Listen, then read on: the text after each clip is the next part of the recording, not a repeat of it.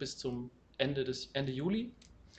Und wir freuen uns ähm, heute mit Julia Silberberger, Rüdiger Reinhardt und Alia Pagin hier am Start zu sein. Die Veranstaltung wird so laufen, dass wir drei Teile haben. Also wir starten jetzt um 10 bis ca. 11.15 Uhr und haben dann die nächste Präsentation. Und an, im Anschluss an die Präsentation gibt es einmal die Möglichkeit, Fragen einzureichen oder im Chat alle wichtigen, relevanten Informationen, zum Beispiel, dass Sie spenden können für das DRI, das momentan natürlich einen Ausfall hat durch sein fehlendes, ausbleibendes Live-Präsenzpublikum, was normalerweise den Saal hier besucht. Ähm, aber auch, äh, es gibt die Möglichkeit, auch über presse.dri-heidelberg.de Fragen einzureichen. Also presse.dri-heidelberg.de, die ist auch da unten im, in der Beschreibung drin. Ähm, und wir moderieren die Fragen im Hintergrund und behalten uns natürlich vor, entsprechend der Netiquette und den äh, Regeln des Anstands und der guten Diskussionskultur ähm, Nutzerinnen und Nutzer vorzuziehen, die sich entsprechend dieser Regeln verhalten. Gut, ich würde jetzt einfach direkt übergeben, wenn wir soweit sind. Die beiden und alle drei sind schon im Bild und ich freue mich wahnsinnig darüber, dass wir heute bis um 14 Uhr insgesamt, wenn Sie es einrichten können, einen ganzen langen Vormittag und den Mittag mit Unterstützung meiner wunderbaren Kollegin Sarah an der Technik und Regie heute ins Bild gesetzt werden. Und jetzt sind Sie im Bild. Herzlich willkommen. Hallo und äh, ja, danke, dass wir heute mit euch ähm, ein ganz großartiges Online-Seminar durchführen dürfen. Ich werde euch gleich ein bisschen was erzählen, ähm, was eigentlich Verschwörungstheorien sind und wie sie funktionieren und ähm, was wir in letzter Zeit alles auch so ein bisschen erlebt haben ähm, seit Januar, Februar. Und äh, da sind wir auch schon gleich beim Thema. Äh, Rüdiger geht dann gleich weiter ins wissenschaftliche Arbeiten und den Faktencheck. Und ähm, ich würde sagen, ich fange einfach mal an, damit wir nicht allzu viel Zeit verlieren. Dann, ihr wisst, wenn ich referiere, dann kann das manchmal zwei Stunden dauern. Ich habe aber nur äh, eine knappe halbe, dreiviertel Stunde. Also let's go. Ich share euch mal meine Präsentation. So, und wir machen Fakten jetzt wieder great again. Unser Motto ist ja auch Let's make, uh, make Facts Great Again. Und ihr habt ja auch gesehen, ich habe das hier auf meinem T-Shirt. Und das ist unheimlich wichtig, dass wir jetzt in der heutigen Zeit ähm, die Fakten von dem Schwurbel teilen, äh, die Schwa äh, Fakten von dem Schwurbel trennen. Ihr kennt uns ja vielleicht von Facebook oder von Twitter oder von unserer Verleihung vom Goldenen Aluhut. Wir beschäftigen uns mit Verschwörungstheorien jetzt schon seit ähm, sechs, sieben Jahren. Beforschen wir die Szene und äh, beobachten die Gruppierungen und haben die aktuellen Trends im Auge. Und wenn uns eins aufgefallen ist, dass es ganz wichtig ist, ähm, den Leuten Medienkompetenz nahezubringen. Und deswegen sind wir heute hier. Und äh, da fangen wir auch mal an. Und zwar Jetzt geht meine Präsentation nicht weiter. Ha, Basic Stuff first. Ganz wichtig. Also nicht jeder, der eine Kritik übt, ja, ähm, an einer etablierten Situation oder an etwas, das tatsächlich kritikwürdig ist, ist gleich ein Verschwörungstheoretiker. Nicht jeder, der sagt, oh, da könnte eventuell etwas sein, was nicht mit rechten Dingen zugeht, ist gleich ein Verschwörungsideologe. Denn wir haben auch noch den Fachbereich der Verschwörungshypothese. Und das ist wissenschaftliches Arbeiten, das ist ein Checken von Fakten. Und ähm, hier wird ähm, abgewogen, abgewogen, wie, ähm, wie möglich ist eine Verschwörung tatsächlich im rationalen Sinn. Das kann verifiziert oder falsifiziert werden. Das ist eine rein wissenschaftliche Angelegenheit. Die Verschwörungsideologien hingegen sind ganz anders. Das sind Glaubenskonstrukte. Hier geht es um Stereotype, um monokausale Vorstellungen über Verschwörungen, die sich selbst immunisieren. Da werden Gegenbeweise als Bestätigung für die Verschwörung angesehen und werden auch noch mit ähm, in die Verschwörungstheorie ein, eingebunden und sagt, ja, hier, guck mal, die Elite, die hat das extra so, hier so eine Brotkrumenspur für uns gelegt, aber wir sind doch nicht blöde, weißt du? Wir glauben das doch nicht. Also wir bewegen uns hier ganz klar im Bereich des Glaubens und nicht im Bereich des Wissens. So. Die Verschwörungsideologie wie definiert die sich eigentlich? Grundsätzlich wird hier erstmal die Cui Bono-Frage gestellt, wem nützt es, wer steckt dahinter, wer hat da vielleicht irgendwie ein finanzielles Interesse daran oder ähm, möchte hier mit irgendwem sich äh, zusammentun, um äh, ein, ein, Ereignis herbeizuführen, das die Welt eventuell ins Chaos stürzen könnte. Ähm, Fake News sind so die Vorstufe der Verschwörungstheorie. Dem davor gehen noch so Internet-Hoaxes, aber das ist wieder eine andere Geschichte. Aber Fake News finden wir eigentlich immer in jeder Verschwörungstheorie Verschwörungstheorie, also sozusagen als Argument. Und ähm, kommen auch meistens von ganz bekannten Fake News Portalen. Meistens wird einer, ähm, in der Regel mehrere übergeordnete, manchmal übersinnliche, weltweit wirkende mächtige Drahtzieher hinter einem Ereignis vermutet. Die New World Order, also wer uns ähm, auf Facebook folgt, der kennt natürlich unsere ganzen NWO-Witzchen und äh, die NWO ist ja auch bei den Verschwörungsideologen ein total großes Ding, die soll ja etabliert werden. Und äh, das wird ja schon seit Jahren, seit Jahrzehnten erzählt. Freimaurer sind immer ganz oben im Kurs, die Illuminaten und natürlich auch die Juden und die Zionisten. Denn Antisemitismus ist in Verschwörungstheorien ein riesiges Ding.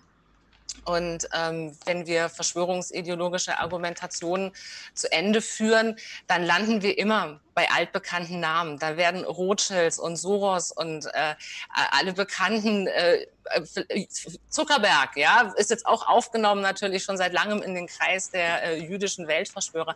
Da werden die ganzen bekannten Namen genannt und am Ende ähm, steht eigentlich immer die jüdische Weltverschwörung, die die New World Order ist, die jüdischen Pharmakonzerne, die jüdische Hochfinanz und so weiter. Das äh, alles äh, ist ein zielgerichtetes konspiratives Wirken zu einem meist illegalen oder illegitimen Zweck.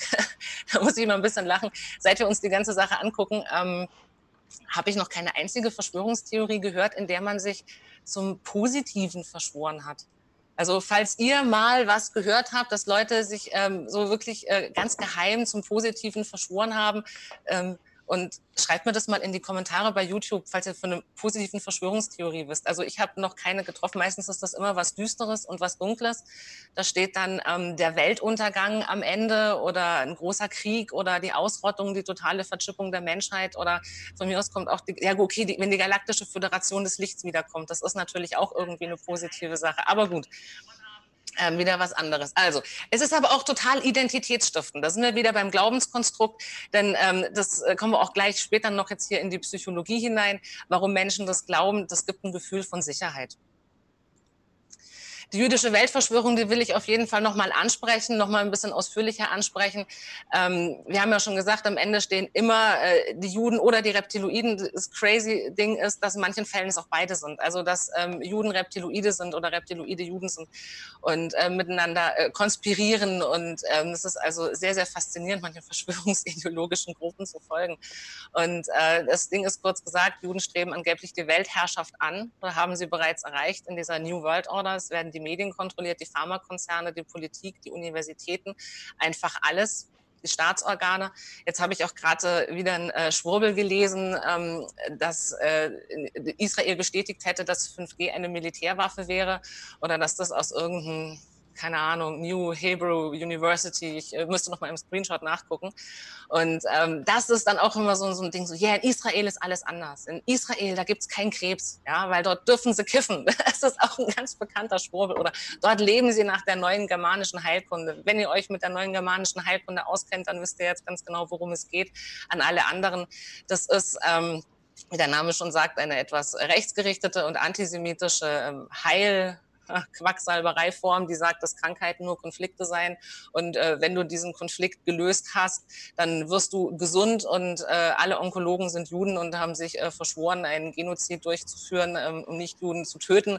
Und äh, das tun sie mittels äh, Chemotherapie. Deswegen bloß nicht äh, zum Arzt gehen, wenn du Krebs hast, sondern äh, mach lieber einfach ein bisschen Selbstreflexion und dann geht das von alleine weg. Das ist sozusagen die Kernaussage der germanischen Heilkunde, basierend darauf, dass die Pharmakonzerne Kerne äh, der jüdischen Weltverschwörung gehören. Und diese Heilkunde hat in den aktuellen Zeiten ziemlichen Zulauf. Ähm, die hatte vorher schon einen ziemlichen Zulauf. Da haben sich die Gruppen, oh, Wahnsinn, da waren von 2000 Leuten waren es plötzlich 20.000. Da war ich mega überrascht, weil die auch richtig missionieren gehen unter ähm, alternativmedizinischen Beiträgen oder unter Berichterstattung der Leitmedien. Und dann kommen die so um die Ecke, so mit den fünf biologischen Naturgesetzen und Selbstheilungsprogrammen und so. Ähm, das sind, die, die, gehen richtig missionieren. Also das ist germanische Heilkunde, ziemlich äh, antisemitischer Dreck. Im Großen und Ganzen basiert auch das auf den modernen Verschwörungsmythen, äh, den, von den Protokollen der Weisen von Zion, von denen habt ihr auch bestimmt schon mal gehört, antisemitische Hetzschrift von 1903, die behauptet, dass die Protokolle äh, geheimer Treffen jüdischer Weltverschwörer wären. Ich habe so ein Ding gesehen, ähm, vor kurzem letztes Jahr in Dahlheim. Da waren sie ausgestellt. Äh, das äh, Kloster Dahlheim hatte eine Ausstellung zu Verschwörungstheorien. Großartiges Ding. Wir haben nämlich dort noch eine kleine Veranstaltung gemacht, also eine Wissenschaftsshow für Kinder, so ein bisschen Knopfhoff-mäßig, war total cool und durften uns dafür die Ausstellung angucken. Und da lagen eben zum Beispiel zwei Ausgaben waren es von äh, den Protokollen der Weisen von Zion. Und es war beeindruckend, äh, das zu sehen. Aber ähm, wie gesagt, ich wollte es unbedingt angesprochen haben, weil jüdische Weltverschwörung ähm, einfach ein mega wichtiges Thema ist, gerade in der heutigen Zeit, der Antisemitismus wieder en vogue ist, was mir überhaupt nicht gefällt. So, oh, Entschuldigung, ich bin nicht eine Folie ähm, zu weit gegangen. Aber Antisemitismus ist und bleibt das Dach der meisten Verschwörungstheorien. Das war jetzt das Fazit, was ich äh, da ähm, nochmal ähm, raus rauslassen möchte und was ihr euch bitte auch im Hinterkopf behaltet. So, jetzt geht es ein bisschen um die Psychologie. Warum glauben Menschen Verschwörungstheorien? Ihr habt bestimmt ähm, auch jetzt in letzter Zeit erlebt, äh, es, sind krisenbehaftete Zeiten. Viele Menschen haben Ängste, Sorgen und Nöte und das macht sie empfänglich für verschwörungsideologisches Gedankengut. Vielleicht sind jetzt auch ein paar Zuschauer dabei, die äh, selber davon betroffen sind. Vielleicht äh, hast du deinen Job verloren oder ähm, stehst kurz vor der, vom finanziellen Ruin, weil ähm, Kurzarbeitergeld und du weißt nicht, wie du deine Familie durchbringen sollst. Ähm, du bist vielleicht äh, Risikopatient und hast Angst, äh, an Covid-19 zu erkranken. Das sind alles nachvollziehbare Dinge. Aber ähm, diese Angst ist ein Nährboden für solche kruden Theorien, einfach weil sie dir eine einfache Antwort auf eine unheimlich komplexe Frage bieten ähm, die wir jetzt immer noch nicht komplett beantwortet haben weil ähm, Wissenschaft ist nun mal ein Feld, das Zeit braucht, um Wissen zu schaffen. Da kommen wir nicht drum rum. Das ist ähm, nicht so, dass wir mit den Fingern schnippen und plötzlich haben wir die Antwort. Und ähm, diese Viruspandemie ist, äh, das, also ich erlebe sowas zum ersten Mal. Ich weiß nicht, wie es euch geht, aber ich habe sowas noch nicht erlebt und ich äh, kann jeden verstehen, dem das Angst und Bange äh, wird, denn ähm, auch mir bereitet das selbstverständlich Sorge. Und in dieses Loch, das da auch ähm, die Wissenschaft aktuell noch hat, ähm, weil das Wissen erst aufgefüllt werden muss, das muss alles alles gesichert ähm, werden. Rüdiger wird da gleich in seinem Vortrag mit euch äh, darüber sprechen, wie Wissenschaft arbeitet. Ähm, da in dieses Loch ähm, werfen Verschwörungstheoretiker ihre Saat. Und da ähm, geht das auf und es blüht. Und ihr seht ja auch, dass es blüht, wenn ihr in die Newsfeeds schaut. Ihr braucht ja bloß Trump zuzuhören oder in die verschwörungsideologischen Gruppen zu gucken oder wenn ihr bei uns guckt ähm, auf der Seite. Es ist, es, es, wisst ihr, wir haben mehr Content, als dass wir ihn posten können. Das ist unglaublich. Wir wissen gar nicht mehr, wohin damit. Und ähm, für die Leute ist das eine emotionale Entlastung, ähm, das zu glauben, weil es ihnen so ein bisschen die Last der Realität von den Schultern nimmt. Und da sind auch Menschen dabei, die die Existenz dieses Virus dann komplett leugnen, ähm, weil auch das eine Art der emotionalen Entlastung ist und Bewältigungsstrategie ist. Es ist nur halt leider eben eine falsche Bewältigungsstrategie. Und ähm, um diesen Glauben zu rechtfertigen, folgen sie den verschwörungsideologischen Gedankengut, denn es, äh, es passt ja genau für sie. Es ist ja genau das, was sie wollen. Sie wünschen sich ja jemanden, der ihnen sagt, dass das Ganze überhaupt nicht existiert und alles nicht so schlimm ist. Und natürlich kannst du hier äh, kuscheln gehen und äh, knuddeln gehen ähm, ohne Mund-Nasenschutz. Das ist alles easy going. So, in äh, dieser Spaltung, äh, in dieser verbrüdert man sich dann natürlich auch für die Sache. Das erzeugt ein Gefühl der Gemeinsamkeit, die da oben, ja, wir das Volk hier unten und gemeinsam können wir hier irgendwas reißen. Das ist halt was, ähm, was äh, ein Einheitsgefühl gibt, das viele Menschen momentan irgendwie vermissen. Wir ähm, sind eine Gesellschaft, die sich manchmal, was ich auch kritisiere, so ein bisschen auf Einzelinseln zurückzieht und ähm, vergisst, äh, dass wir von der Interaktion unserer Einzelgruppen auch leben und dass, dass das Leben lebenswert macht. Und äh, da kann man manchmal das Gefühl bekommen, abgehängt zu werden. Und ähm, auch das ähm, befriedigt dann so ein bisschen die Verschwörungserzählung, dass das ja alles gewollt ist und die da oben wollen uns ja klein halten und so weiter. Das Ganze äh, teilt uns die Welt in Gut und Böse auf und ähm, auch das ist eine emotionale Entlastung und das ist äh, easy going, äh, wenn man sagen kann, okay, die NWO, der NWO, Entschuldigung, ähm, die hat das halt eben einfach vor und ähm, das sind die Fiesen und die Bösen und ich kann mich dann auf die Seite der Guten stellen, denn ich bin erwacht, ich habe es begriffen und ihr noch nicht. ihr, ihr schlaft noch alle und äh, ihr, ihr pennt hier und ähm, ihr, ihr, lasst euch von der Lügenpresse belullen und ihr, kennt es vielleicht, wurde, vielleicht wurde euch das auch schon an den Kopf geknallt, geht doch weiter Bildzeitung lesen. Ja, geh RTL gucken und bei McDonalds essen. Das sind immer so die Standardargumente, das sind immer so die, die Bösen. Ja, ja, geh dich impfen.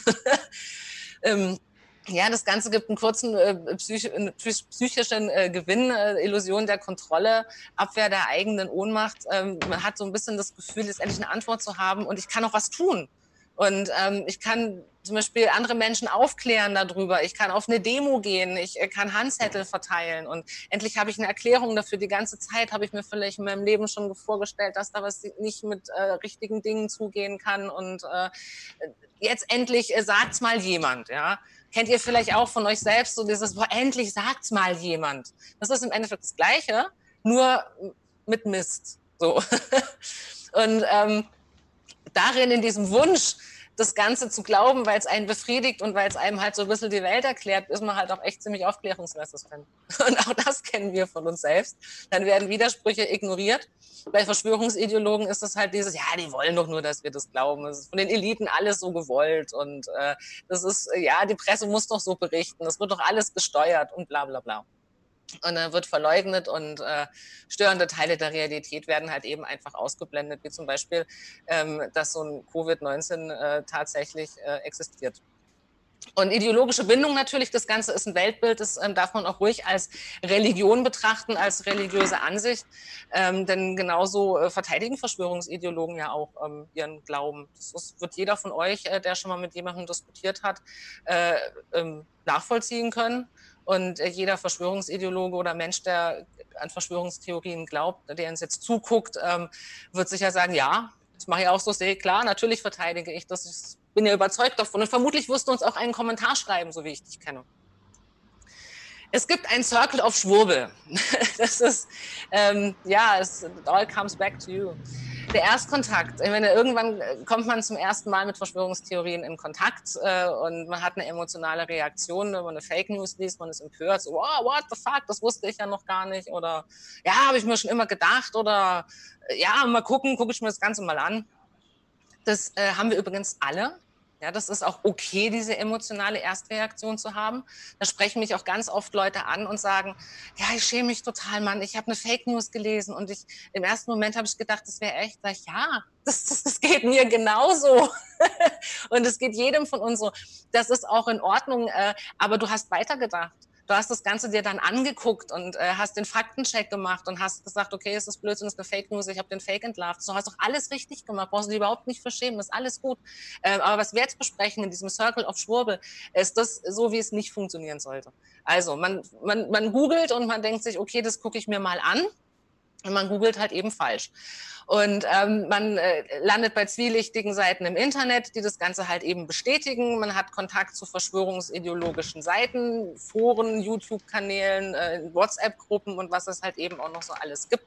Da ist noch einiges mehr dazu gekommen ähm, in der letzten Zeit. Dann äh, ist man empört und denkt sich, oh wow, die haben voll die vielen Informationen, das wusste ich alles gar nicht und so, da müssen wir was tun. Es kann doch nicht sein, dass da die Regierung nichts macht und äh, es kann doch nicht sein, dass die Gesellschaft nichts macht. Ich meine, wissen die das denn nicht? Nicht, dann muss man doch aufklären. Und dann sagen natürlich die anderen, ja, haha, du, das ist eine alles alte Geschichte hier, die Regierung, die darf doch gar nicht, weil wir sind doch ein besetztes Land und da hängt doch die Elite und, äh, und irgendwer ist schon schuld daran, warum das Ganze noch nicht an der Öffentlichkeit ist.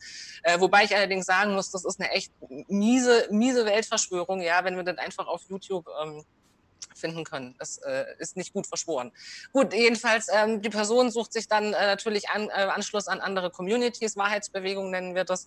Ähm, man möchte was tun, ähm, man geht ähm, auf Demos, man engagiert sich man äh, möchte die Inhalte weiterverbreiten, äh, andere Menschen aufwecken und ähm, vermutlich, wenn ihr euch motiviert fühlt, jetzt einen Kommentar zu schreiben, weil ihr denkt, was erzählt denn die Julia hier für einen Scheiß, äh, ist genau das.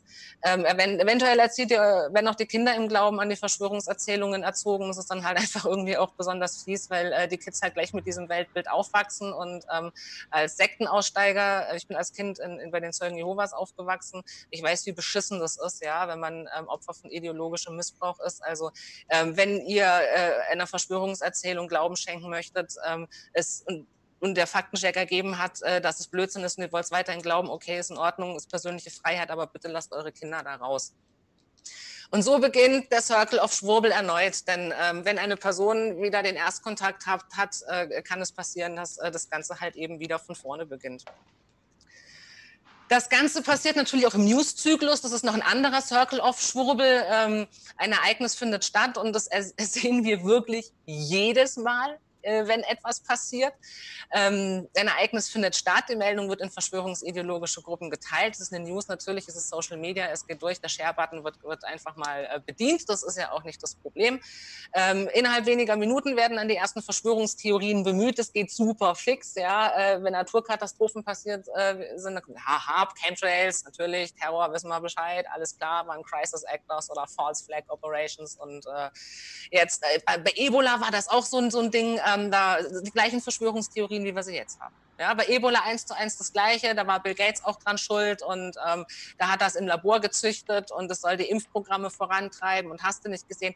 Aber Ebola war halt echt verdammt weit weg. Ja, ähm, Covid-19 ist hier. Und ähm, Ebola-Verschwörungstheorien haben nur eine kleine Gruppe von Menschen erreicht. Das wurde halt äh, bei Impfgegnern rumgeteilt und äh, das wurde äh, in, in einschlägigen Gruppen reingeteilt. Aber das war jetzt nicht wie heute, dass sich das über WhatsApp so massiv rausverbreitet. Ähm, aber äh, nur so als Beispiel genannt. Dann wird dann gleich ein Initiator gesucht, das ist dann wieder eine Weltverschwörung, das ist natürlich NWO, dann äh, Kommentare, die einfach nur die drei Buchstaben enthalten. NWO, Gott, wie oft habe ich das schon gelesen.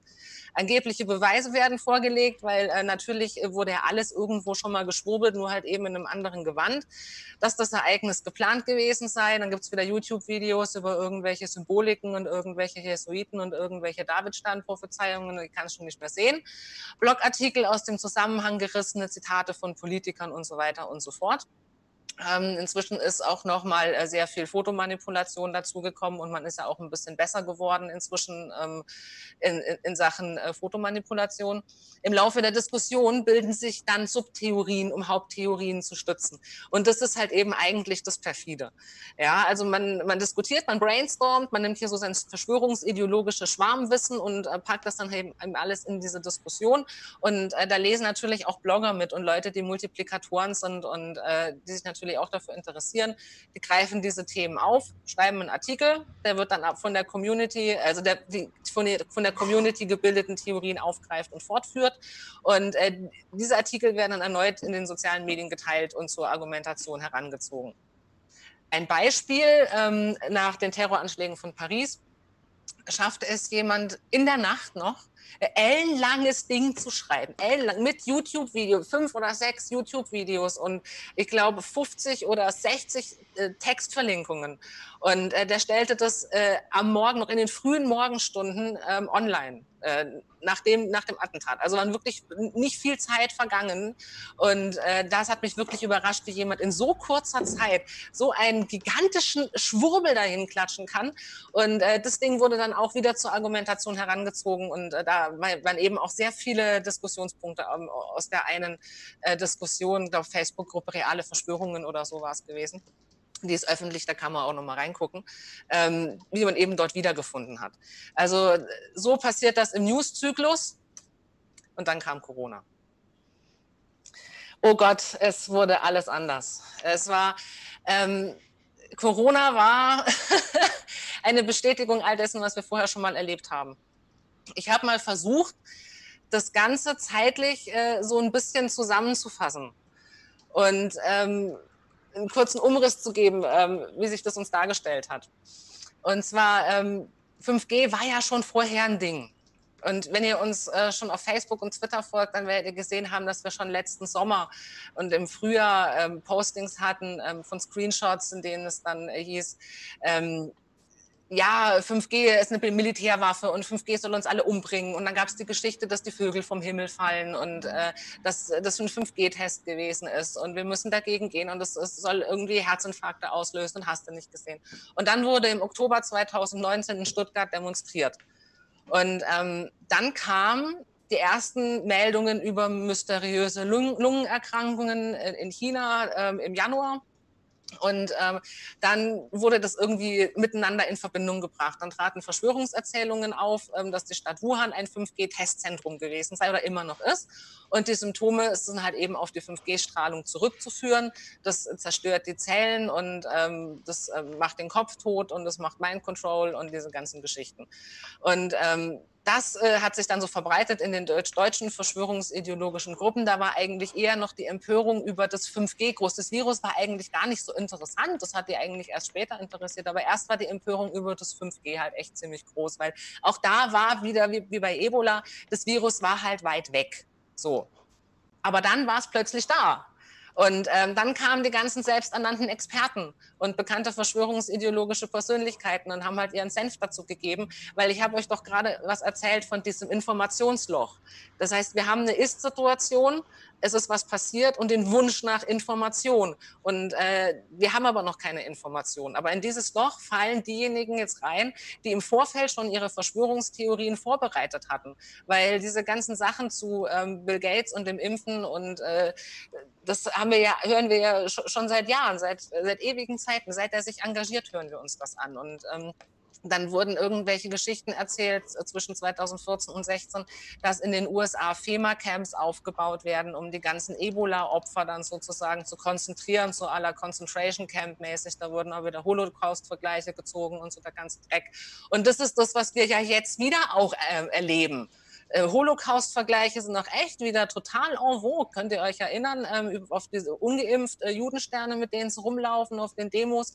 Absolut widerliche Angelegenheiten. Und das äh, äh, ist ja jetzt inzwischen Gott sei Dank auch unter Strafe gestellt. Aber ähm, ich habe das gesehen und habe gedacht, ich falle vom Glauben ab. Oder Impfen macht frei. Wenn ich das schon höre, ja, weil es dann dieses Bild durchgeteilt wurde ähm, mit, mit dem Schriftzug Impfen macht frei. Also ähm, da sind sie wirklich großartig, wieder ihre Holocaust-Vergleiche zu ziehen und sich zu empören und zu sagen, oh Vorsicht, wir wollen jetzt hier nicht wieder unterdrückt werden. Und dann kamen, wie gesagt, die selbsternannten Experten und ähm, Kollegen wie der Wodak und äh, der Jepsen und Xavier Naidu oh Gott. Und äh, später dann eben auch der Hildmann, als er dann eben anfing, am, am Rosa-Luxemburg-Platz äh, zu demonstrieren, ähm, die halt eben alle was dazu zu sagen hatten. Und das war eben auch so diese Situation, in der die Menschen noch wünschen sich Antworten und wollten wissen, äh, was passiert jetzt hier eigentlich? What the fuck is happening? Und war bei mir im Endeffekt nicht anders. Und Gott, ich, ich habe nichts anderes gemacht die erste Zeit, als die ähm, Presseberichterstattung und alles zu verfolgen, damit ich up to date bleiben kann und das Ganze mit diesem ganzen Schwurbel abzugleichen, den ich monitoren muss. Und es war einfach mega anstrengend.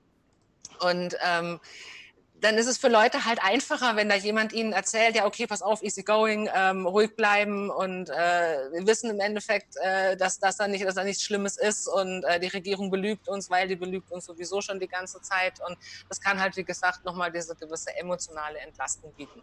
Und dazu kommt, dass ähm, wir gerade in der Anfangszeit äh, widersprüchliche Handlungsanweisungen erhalten haben was dem Ganzen vielleicht auch ein bisschen in die Hände gespielt hat. Aber äh, Hand aufs Herz, äh, ich weiß nicht, ob ich es besser gemacht hätte. Ich weiß nicht, ob ich es besser gemacht hätte, weil ich habe auch keine Glaskugel, mit der ich in die Zukunft gucken kann. Und ähm, gut, aber es war ein, eine Möglichkeit äh, für die Leute, ähm, ihrem Unmut Luft zu machen, indem sie einfach zum Beispiel auf den Share-Button drücken und diese Videos weiter zu verbreiten. Und so haben sie sich halt einfach auch massiv weiter verbreitet. Und auch ich hatte im Newsfeed ähm, bei Facebook von gemäßigten Freunden plötzlich irgendwelche ähm, Videos, die mir erklären wollten, dass da irgendein Plan dahinter steckt oder dass ein chinesischer Militär geleakt hat, dass das aus dem Labor entfleucht ist. Und die gleiche Geschichte wie bei Ebola. Wirklich. Die gleich eins zu eins die gleiche Geschichte. Nur jetzt war halt eben, sie haben die ganze Zeit vor einer Pandemie gewarnt und jetzt ist die Pandemie da und jetzt können sie ihre ganzen Verschwörungstheorien ausbreiten und ähm, uns äh, auf dem Silbertablett servieren und sagen, hahaha, ich habe es doch gesagt und äh, seufzt Augenroll. So, ähm, dann kam äh, der Lockdown und schon vor Beginn des Lockdowns ähm, haben sie halt eben Panik gekriegt, dass äh, innerhalb verschwörungsideologischer Gruppen wurde dann eben diskutiert, dass die Regierung die aktuelle Lage einfach ausnutzt, um uns die Grundrechte zu berauben und den totalitären Staat und die NWO einzurichten und zu beginnen. Und ähm, diese Deep State Verschwörungstheorien, die haben dann nochmal ein ganz anderes Level gekriegt die waren vorher eigentlich nicht so bekannt. Ja. Die QAnon-Bewegung, die hatte ihre, ihren Zulauf, so war es nicht, aber es war jetzt nicht, die, die haben jetzt mega Zulauf gekriegt. Und ähm, da bleibt halt leider auch sehr viel hängen und Leute, also viele gehen rein, viele gehen wieder raus. Manche denken sich, oh uh, shit, äh, das ist auch nicht das, was ich eigentlich wollte, gehen auch wieder raus. Ähm, aber viele bleiben halt eben hängen und ähm, schwappen dann über zu anderen verschwörungsideologischen Gedankengut. Und ähm, dann kam, wie gesagt, Bill Gates habe ich jetzt nur schon dreimal angesprochen, ähm, aber das machte dann auch plötzlich wieder die große Runde und zwar in WhatsApp-Gruppen und in privaten Feeds und in privaten Kanälen und irgendwelche ähm, Bildlein, äh, die dann mit Text versehen werden und einfach dann durch, äh, durchgeteilt werden. Und diese ganzen alten Verschwörungsmythen werden neu aufgelegt und einfach an die aktuelle Lage angepasst. Das ist etwas, was man auch wirklich immer und immer wieder sieht, egal bei was. Ähm, dann kam die Sache mit dem Mund-Nasenschutz und äh, haben wir eine Maske, haben wir keine, nähen wir uns eine, nähen wir keine und ähm, dann wurde der Protest groß, ähm, einfach erst gar keine zu tragen. Es wurde auch bei vielen Leuten einfach so Ausdruck des Protestes gegen die aktuelle Situation. Das war die niedrigschwelligste und ähm, einfachste Möglichkeit zu sagen, ich habe keinen Bock auf den Scheiß, dass das gerade alles passiert.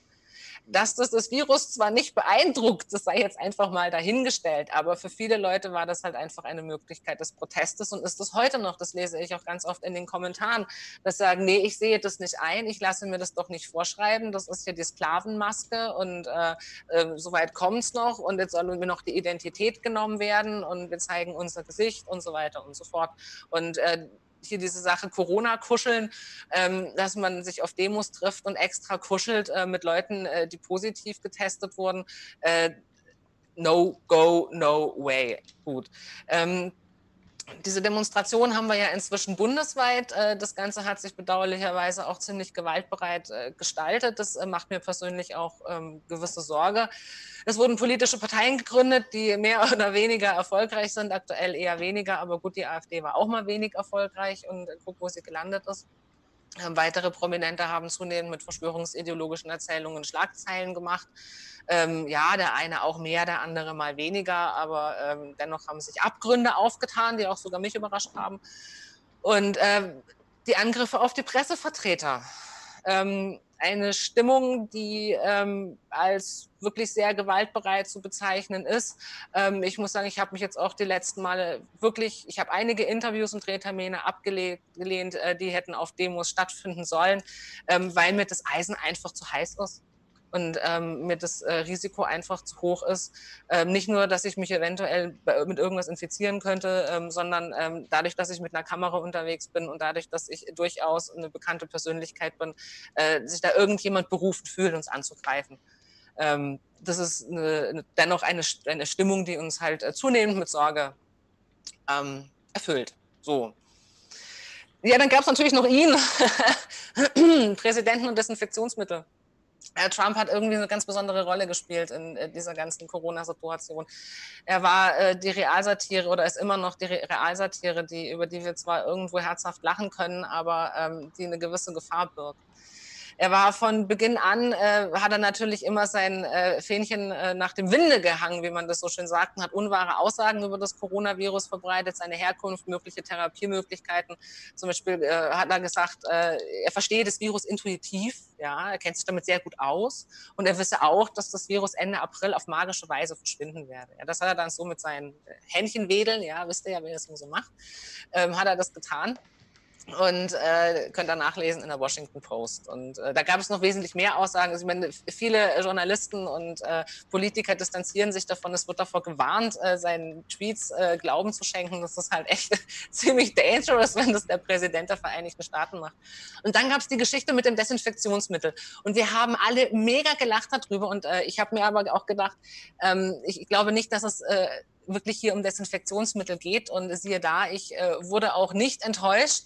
Äh, The Guardian hat nämlich recherchiert, dass Mark Raynon, das ist ein Erzbischof einer kommerziellen Megachurch und ein Produzent von MMS, Follower unserer Seite wissen jetzt ganz genau, worum es geht, Mineral Miracle Supplement, ähm, an Trump herantat, um sein Produkt als Heilmittel anzubieten. Und er hat auch ein Care-Paket ans Weiße Haus geschickt. Und das war halt ein paar Tage, bevor Trump erzählt hat, ja, hätte ich hier was, Desinfektionsmittel und eventuell, vielleicht gibt es da eine Möglichkeit.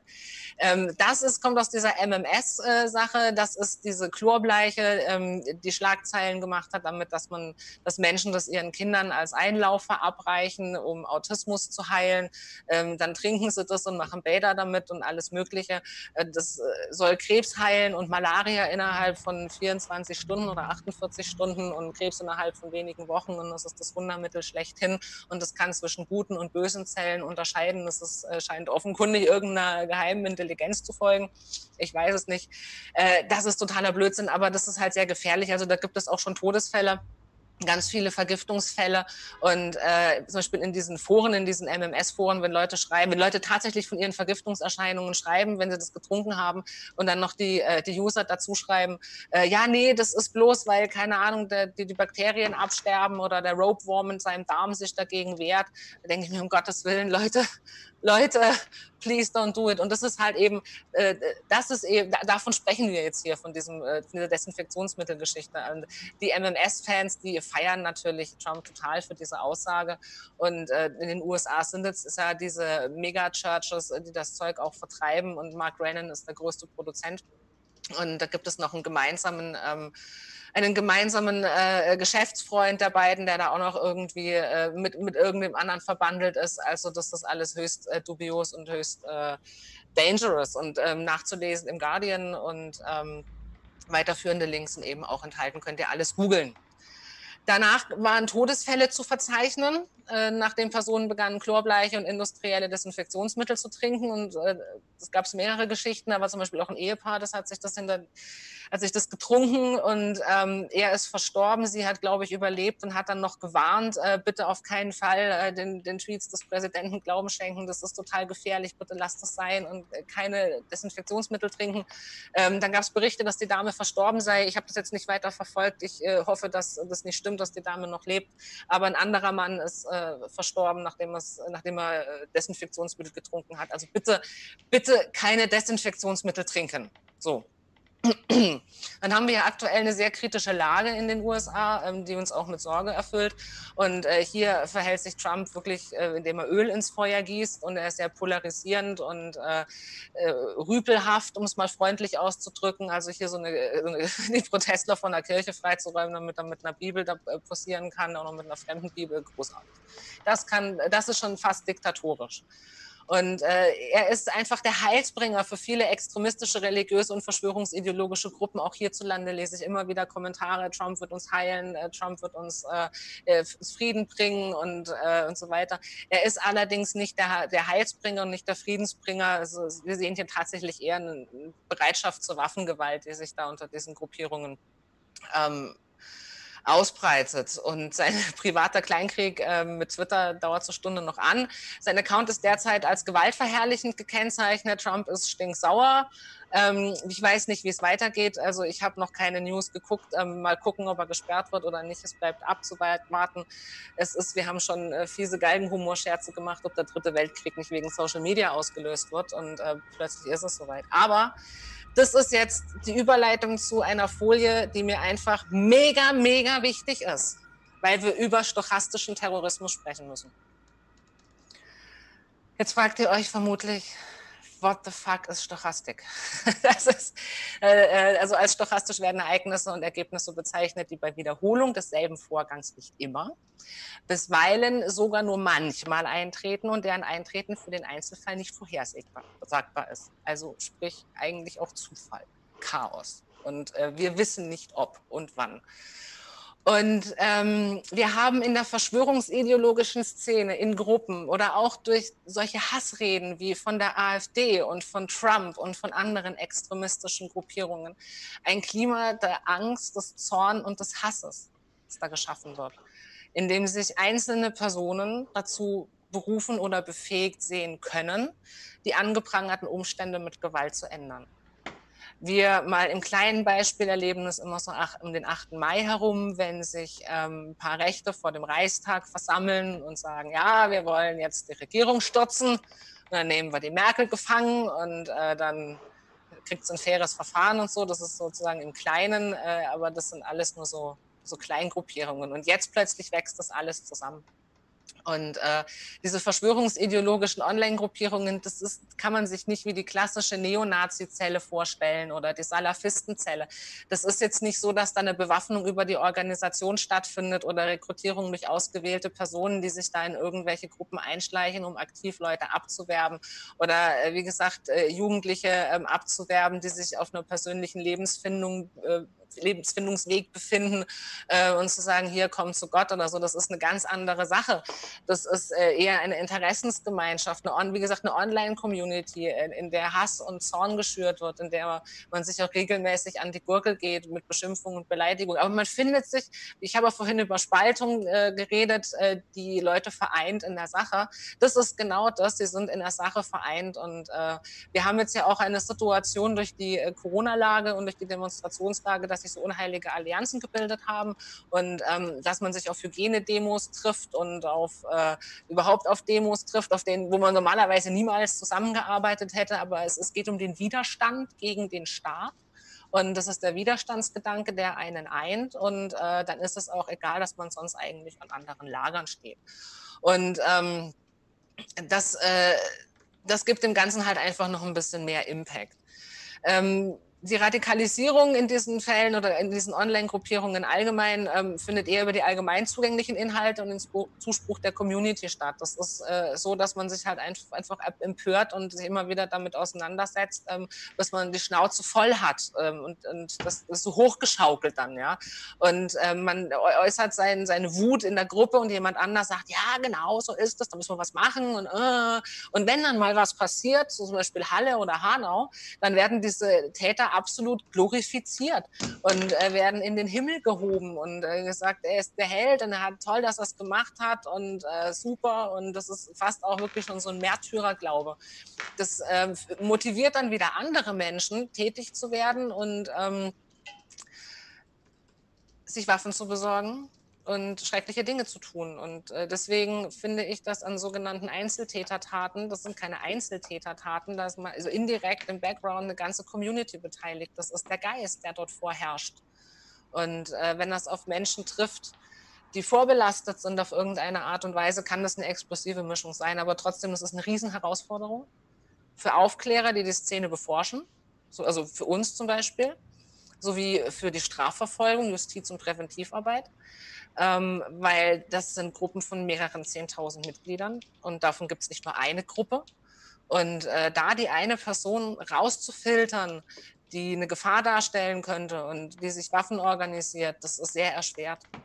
Das ist ein Ding, ich will nicht sagen der Unmöglichkeit, äh, weil nichts, absolut nichts ist unmöglich. Irgendwann werden wir schon was erfinden. Ähm, aber es ist jetzt zum aktuellen Zeitpunkt, das Bewusstsein ist noch nicht so da für die Möglichkeit dieses äh, stochastischen Terrorismus. Das ist übrigens auch kein Begriff von mir. Äh, den hat auch äh, jemand anders, ich will nicht sagen erfunden, aber ich finde, er bezeichnet das Ganze sehr gut. Und äh, das ist die Lage, die wir jetzt haben. Ähm, als es passiert ist mit Halle, wurde ich ganz oft als Expertin angefragt und äh, für Interviews gebeten und äh, die Leute haben gesagt, wie, wie kann das passieren und wieso und warum und äh, weshalb? Und ich habe gesagt, also Entschuldigung, ich bin echt kein Mensch, der sagt, ich habe es ja gesagt, aber ich habe das jetzt seit fünf Jahren gesagt, dass das passieren kann und jetzt ist es passiert und dass wir das ernst nehmen müssen dieses verschwörungsideologische Gedankengut, dass das einfach durchzogen ist von Hass. Das funktioniert über Hass und über Emotionalität und es funktioniert darüber, ähm, Vorurteile, die in Menschen bestehen oder äh, Ressentiments, die im Vorfeld schon geschürt wurden, äh, noch weiter zu verstärken und den Menschen das Gefühl zu geben, dass sie jetzt was tun müssen, ansonsten ist alles vorbei und äh, sie haben die Macht und sie haben die absolute Legitimation, es zu tun. Und das ist saugefährlich. Und deswegen sind wir ja auch hier, um heute darüber zu sprechen, damit jeder, der uns jetzt zuhört, ähm, vielleicht mal einen Moment in sich gehen kann, überlegen kann, wann habe ich mich in meinem Leben schon mal so gefühlt? Ähm, wann hat ich zum Beispiel das äh, Gefühl, ähm, dass ich irgendwas tun muss, ähm, um mit der Hand auf den Tisch zu schlagen? Bin ich da vielleicht eventuell einer Agenda gefolgt? Woher kam dieses Gefühl? Ähm, woher kann ich mich noch erinnern, was ich damals vielleicht im Netz gelesen habe, was mich so fürchterlich aufgeregt hat? Ähm, dann kann man nämlich weitermachen. Und dann kommen wir jetzt erstmal zu meiner letzten Folie, bevor ich dann äh, später übergebe an Rüdiger. Denn das ist der wichtige Punkt. Wir müssen cool bleiben und Fakten checken und nachdenken. Und wenn wir mit Verschwörungstheorien und äh, Fake News umgehen, haben wir drei folgende Stützpfeiler. Und die haben sich echt bewährt. Und zwar auch in dieser Reihenfolge. Besonnenheit. Habe am Anfang schon gesagt, nicht jeder, der mal auf eine Fake News hereinfällt, ist gleich ein glühender Verschwörungsideologe. Irren ist menschlich, vielleicht ist er einfach nur auf eine Fake News hereingefallen. ganz respektvoll bleiben und fragen, ey, we we weißt du, was du da teilst? Hast du dir das schon mal angeguckt, äh, schon mal irgendwie gecheckt? Ähm, ich äh, habe hier schon mal einen Faktencheck für dich gemacht oder ich habe einen Artikel, da steht, äh, dass das alles Blödsinn ist. Und äh, Faktencheck, das ist auch etwas, was super wichtig ist, äh, nicht nur um gegen Verschwörungstheorien zu argumentieren, sondern natürlich auch, um selber nicht auf Fakes hereinzufallen prüfe stets, was du teilst und checke deine Meldungen. Und checke Meldungen, äh, die deine Freunde und Bekannten teilen, wenn sie dir suspekt vorkommen. Ganz wichtig. Vielleicht hat auch schon eine große Faktencheck-Seite was, was so geschrieben, Mimikama, Korrektiv, Faktenfinder der Tagesschau. Das sind echt gute Seiten, die geben alle ihre Quellen an und da hast du schon mal eine gute Recherchegrundlage und kannst weiter recherchieren.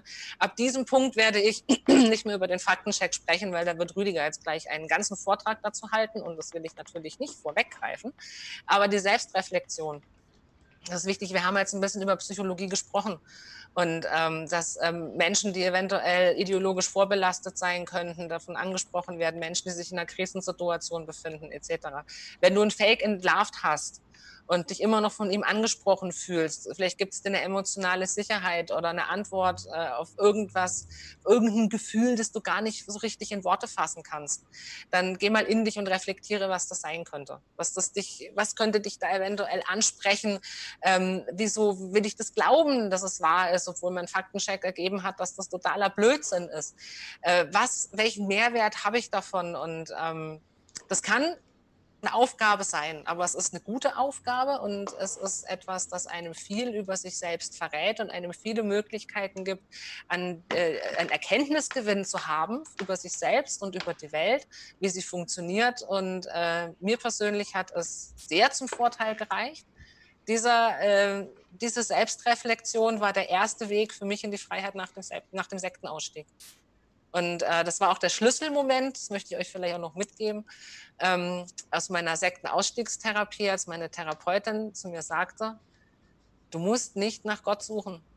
Deine Mutter hat diesen Glauben für dich entschieden. Es war nicht deine Entscheidung. Du kannst ihn jederzeit wieder ablegen. Es ist nichts Schlimmes dabei.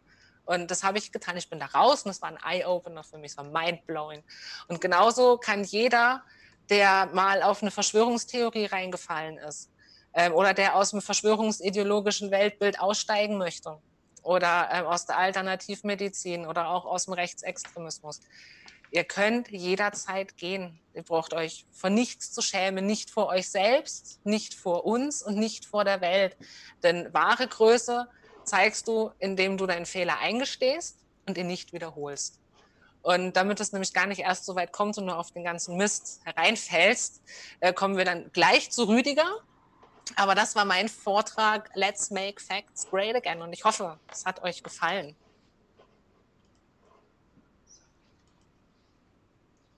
Ja, vielen Dank. Das war ähm, für mein Dafürhalten natürlich äh, neben dem lebendigen und durchwachsenen Chat auch, den wir hier moderieren und in dem wir auch gut versuchen abzuwägen, ein Vortrag, ähm, der mich deswegen beeindruckt hat, weil er sehr persönlich und sehr mutig äh, aufgedeckt hat, mal diesen ganzen Reigen an, was es eigentlich gibt.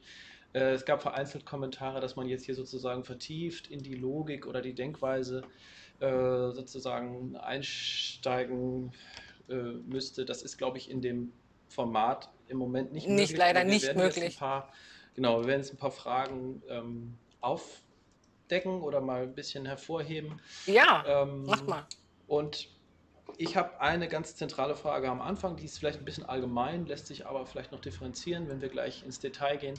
Es geht ja viel darum, sozusagen dieses Vertrauensverhältnis in Quellen und dieses Vertrauensverhältnis in, sagen wir mal, die Berichterstattung auch ähm, zu hinterfragen. Ne? Also ich meine, wenn ich mich sozusagen damit auseinandergesetzt habe, was kriege ich hier geboten an Informationen, was kriege ich auf der anderen Seite geboten an Informationen aus irgendeiner anderen Quelle.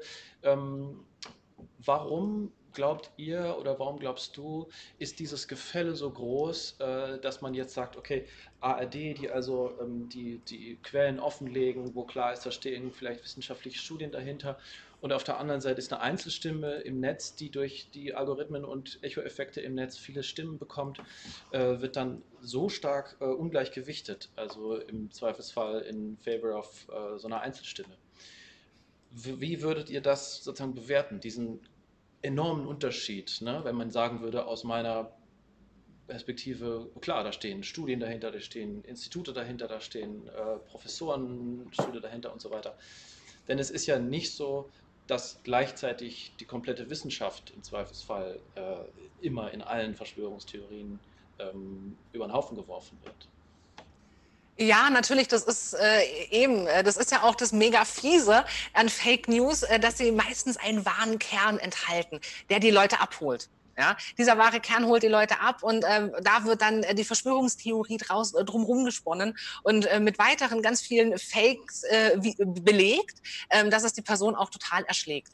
Äh, nun ist es auch so, wie ich ja schon sagte, Verschwörungstheorien arbeiten mit Emotionen und äh, sie holen dich emotional ab. Und ähm, das macht zum Beispiel eine Newsberichterstattung von der Tagesschau nicht. Und ähm, da wird faktenbasiert berichtet und äh, dort äh, wird die Ist-Lage dargestellt.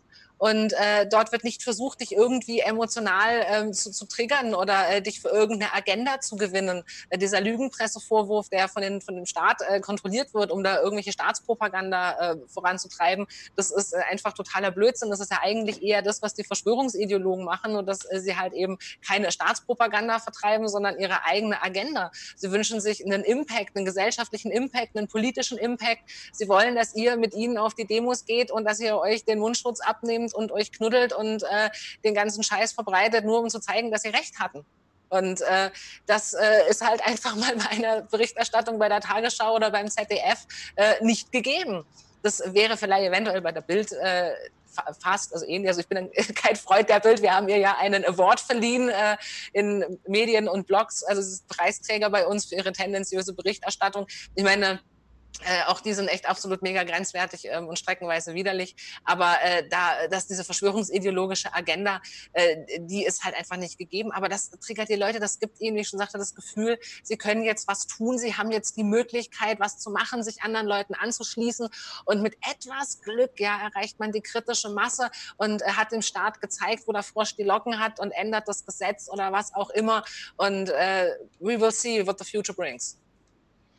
Ja, das ist so ein Stichwort, wo der Frosch die Locken hat. Äh, da geht es ja darum, sozusagen, wer hat die Deutungshoheit? Ne? Wer ja. hat sozusagen, wer hat mehr das Recht als jemand anderes zu sagen, was ist wahr? Und jetzt habe ich hier den letzten Kommentar gerade gesehen.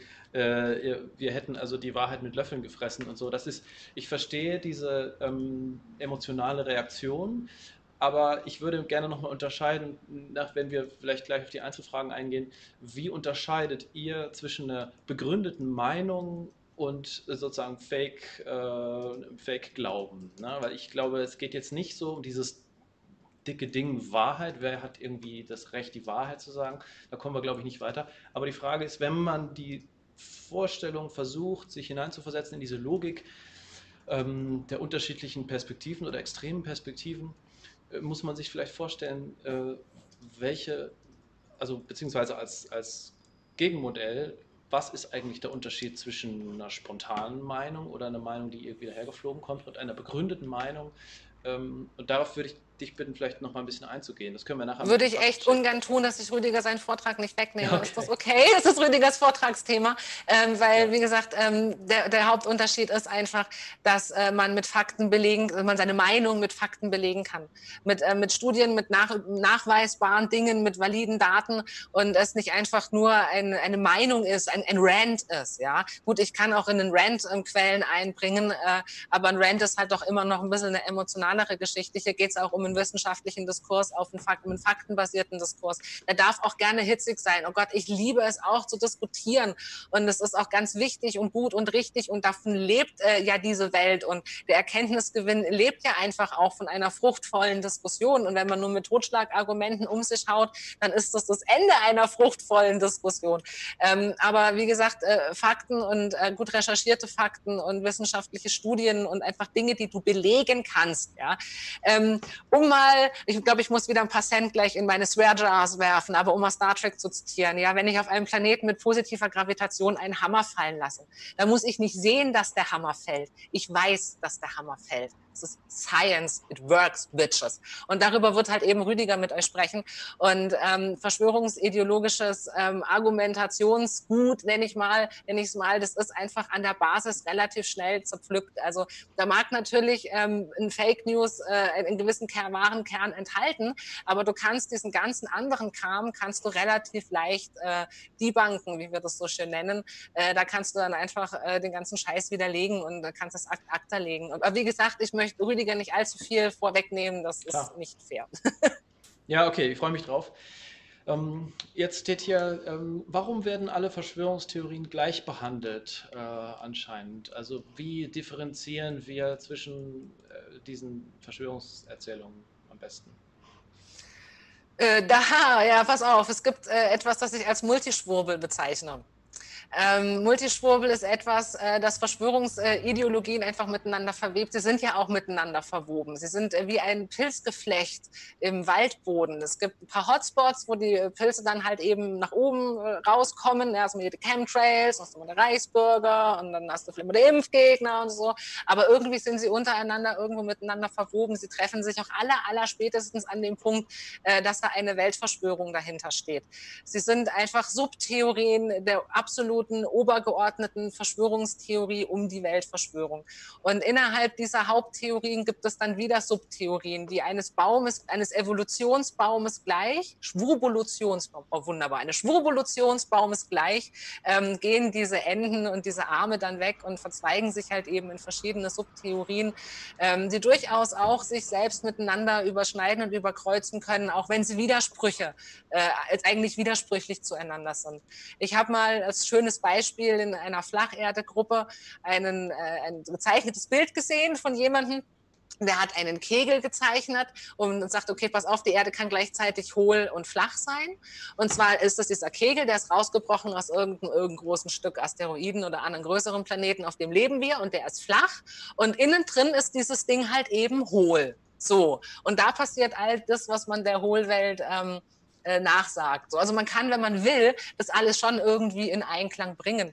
Und äh, grundsätzlich, äh, gut, im Debunking ist es natürlich auch mega wichtig, streckenweise unter diesen Verschwörungstheorien zu unterscheiden, weil ja jeder manchmal auch einer anderen Argumentation folgt und zu gucken, wo haben sie Überlapp, wo haben sie keinen Überlapp. Wenn sie dort Überlapp haben und dort nicht, wieso hat diese Gruppierung den Überlapp und die andere wieder nicht? Das ist äh, wieder so ein bisschen Feldforschungsarbeit, die man da betreibt. Und dafür haben wir ja auch ein Team, die das alles monitoren und überwachen und gucken. Und ähm, manchmal sitzt man wirklich tagelang in einer Recherche, nur um einen dämlichen Screenshot zu verifizieren als Schwurbel. Also das ist jetzt nicht so, dass äh, wir immer nur was sehen und sagen, oh, mein Screenshot, das stimmt nicht und ab raus auf unsere Facebook-Seite. Also da ist echt ein Haufen Zeug, wo wir uns auch erstmal hinsetzen und nachrecherchieren und diskutieren und sagen, hat es stattgefunden, hat es nicht stattgefunden. Ähm, wir haben in unserem Team äh, Physiker und äh, Chemiker und eine Historikerin und äh, also wir sind schon relativ gut aufgestellt und können zu vielen Bereichen was sagen und ähm, äh, haben super Networking, über dem wir auch nochmal nachfragen können und sagen können, ey Leute, könnt ihr uns hier mal bei einer Nachrecherche weiterhelfen? Also das ist äh, nicht leichtfertig, weil auch immer dann die Argumente kommen, ja, ja, macht ja immer gleich alles nur Verschwörungstheorie, also alles gleich Schwurbel. Und äh, nee, so ist es halt eben nicht. Aber ähm, wir kennen halt auch unsere üblichen Verdächtigen. Das heißt, äh, gewisse Sachen erkennst du auf den ersten Blick und da muss ich auch mehr nachrecherchieren. Okay, ja. Hier gibt es noch eine ganz konkrete Frage und zwar Thomas fragt, hey, Goldener Aluhut, erklärt uns doch mal, um was es in den geleakten Clinton- und Podesta-E-Mails geht. Über was unterhalten Sie sich da denn genau? Könnt ihr uns Aluhüte da mal was aufklären? Danke. Ja, das können wir gerne tun, aber jetzt hier nicht on the fly. Ich habe ich kann, hab hier nichts um euch eine Live-Recherche. Äh, tut mir leid. Kann nicht, Wo kann man denn so Informationen finden über ähm, eure Arbeit, wenn man sich dafür interessiert? Kann man sich da äh, melden? Ihr könnt auf unsere Webseite gehen, dergoldenealuhut.de, guckst äh, in die Ansprechpartnerliste und äh, schreibst einen unserer Ansprechpartner an. Ja, schreibst mich an oder Rüdiger an. Äh, wir, wir kein Problem, wir treten in Kontakt, wir machen das. Das ist jetzt on the fly einfach auch ein bisschen schlecht, weil ich hier in einem extra eingerichteten, äh, nur für diesen Stream sitze und äh, meinen Arbeitsrechner Klar, ja. nicht an Start habe, sorry. Ähm, jetzt zum Abschluss vielleicht nochmal, wir haben jetzt natürlich eine aktuell total brisante Situation, das haben viele erkannt, in der sozusagen diese Theorien auch mal Aufwind bekommen aus äh, verschiedenen Gründen. Aber warum? Also welche genauen Gründe oder welche spezifischen Gründe äh, würdest du sehen, ähm, warum legt jemand die Maske ab? Ne? Silvia fragt, mich mhm. würde interessieren, warum gerade jetzt bei Corona mhm. so viele diesen ganzen Theorien anhängen. Das ist äh, diese Krisensituation, in der wir uns gerade befinden und ähm, die Situation der Angst und der Unsicherheit. Und ähm, weißt du, die Welt hat es schon total oft gesehen. Wir hatten schon ganz viele Seuchen und wir hatten schon ganz viele Kriege und Krisen und es gab schon ganz viel Kackscheiße. Und wenn äh, wir in die Geschichtsbücher gucken, können wir uns erinnern, äh, dass da oft Verschwörungstheorien und ähm, Verschwörungsmythen und Erzählungen äh, Schuldzuweisungen, ja, zur damaligen Zeit nennen wir es eher Schuldzuweisungen existiert haben. Zum Beispiel die Pest, äh, Judenbrunnenvergiftung, das ist ein ganz klassisches Beispiel. Und ähm, Menschen haben sich in Krisen auch ganz oft zu Gott gewandt. Und äh, diese, diese Hiobs-Geschichte, also als Ex-Zeugin Jehovas, das ist halt einfach auch so ein Beispiel, das mir zuerst einfällt, diese Hiobs-Geschichte, so fluche Gott und stirb. Ähm, nein, er hat ausgeharrt und er hat weitergemacht, sich äh, Gott unterworfen. Und Gott ist aber nicht mehr so im Trend, ja.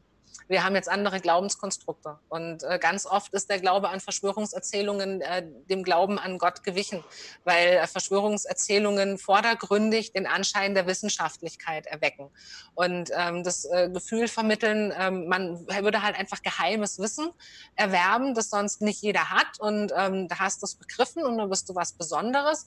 Und äh, du bist nicht der Mainstream, du möchtest dich abheben. Und wir wollen ja alle auch irgendwo unsere Spuren in dieser Gesellschaft hinterlassen. Und für viele ist es einfach momentan nicht möglich in einer Welt von 7,8 Milliarden Menschen, in denen wirklich jeder die Möglichkeit hat, sich ähm, gleichwertig äh, zu äußern im Internet. Also äh, wir haben eine Kakophonie der Meinungen und ähm, das gibt vielen Leuten das Gefühl, dass sie einfach nicht gehört werden.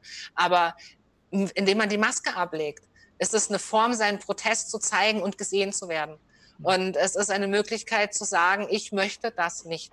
Ich möchte, dass für mich die Welt weiterhin in Ordnung ist. Das kann ich sogar streckenweise nachvollziehen. Glaubst du, ich habe Bock, die Maske draußen zu tragen? Ey, es ist super Sunshine. Ich meine, der einzige Vorteil ist, dass du dich nicht komplett schminken musst, aber es ist tolles Wetter und du hast Maske. Natürlich ist das scheiße, aber wir tragen die Maske, weil es unserer aller Sicherheit dient.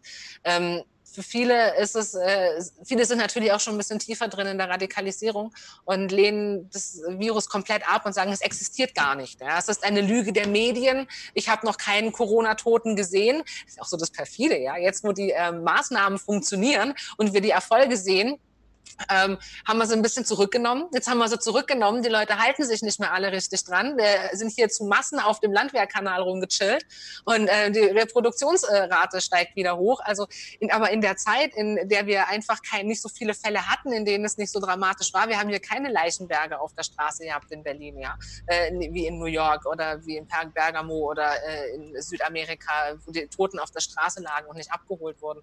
Hier, hier fällt es uns leicht zu sagen, das existiert ja alles gar nicht, weil wir ähm, selber nicht betroffen sind und vielleicht sind nur wirklich nur Einzelfälle dabei, also Einzelfälle der breiten Masse, die jemanden im Familienkreis hatten, der ähm, an Covid-19 verstorben ist. Und äh, ja, das ist, da hat, da hat man Erfolg mit seinen Eindämmungsmaßnahmen und es wird einem noch vorgehalten. es wird gesagt, das Virus existiert nicht.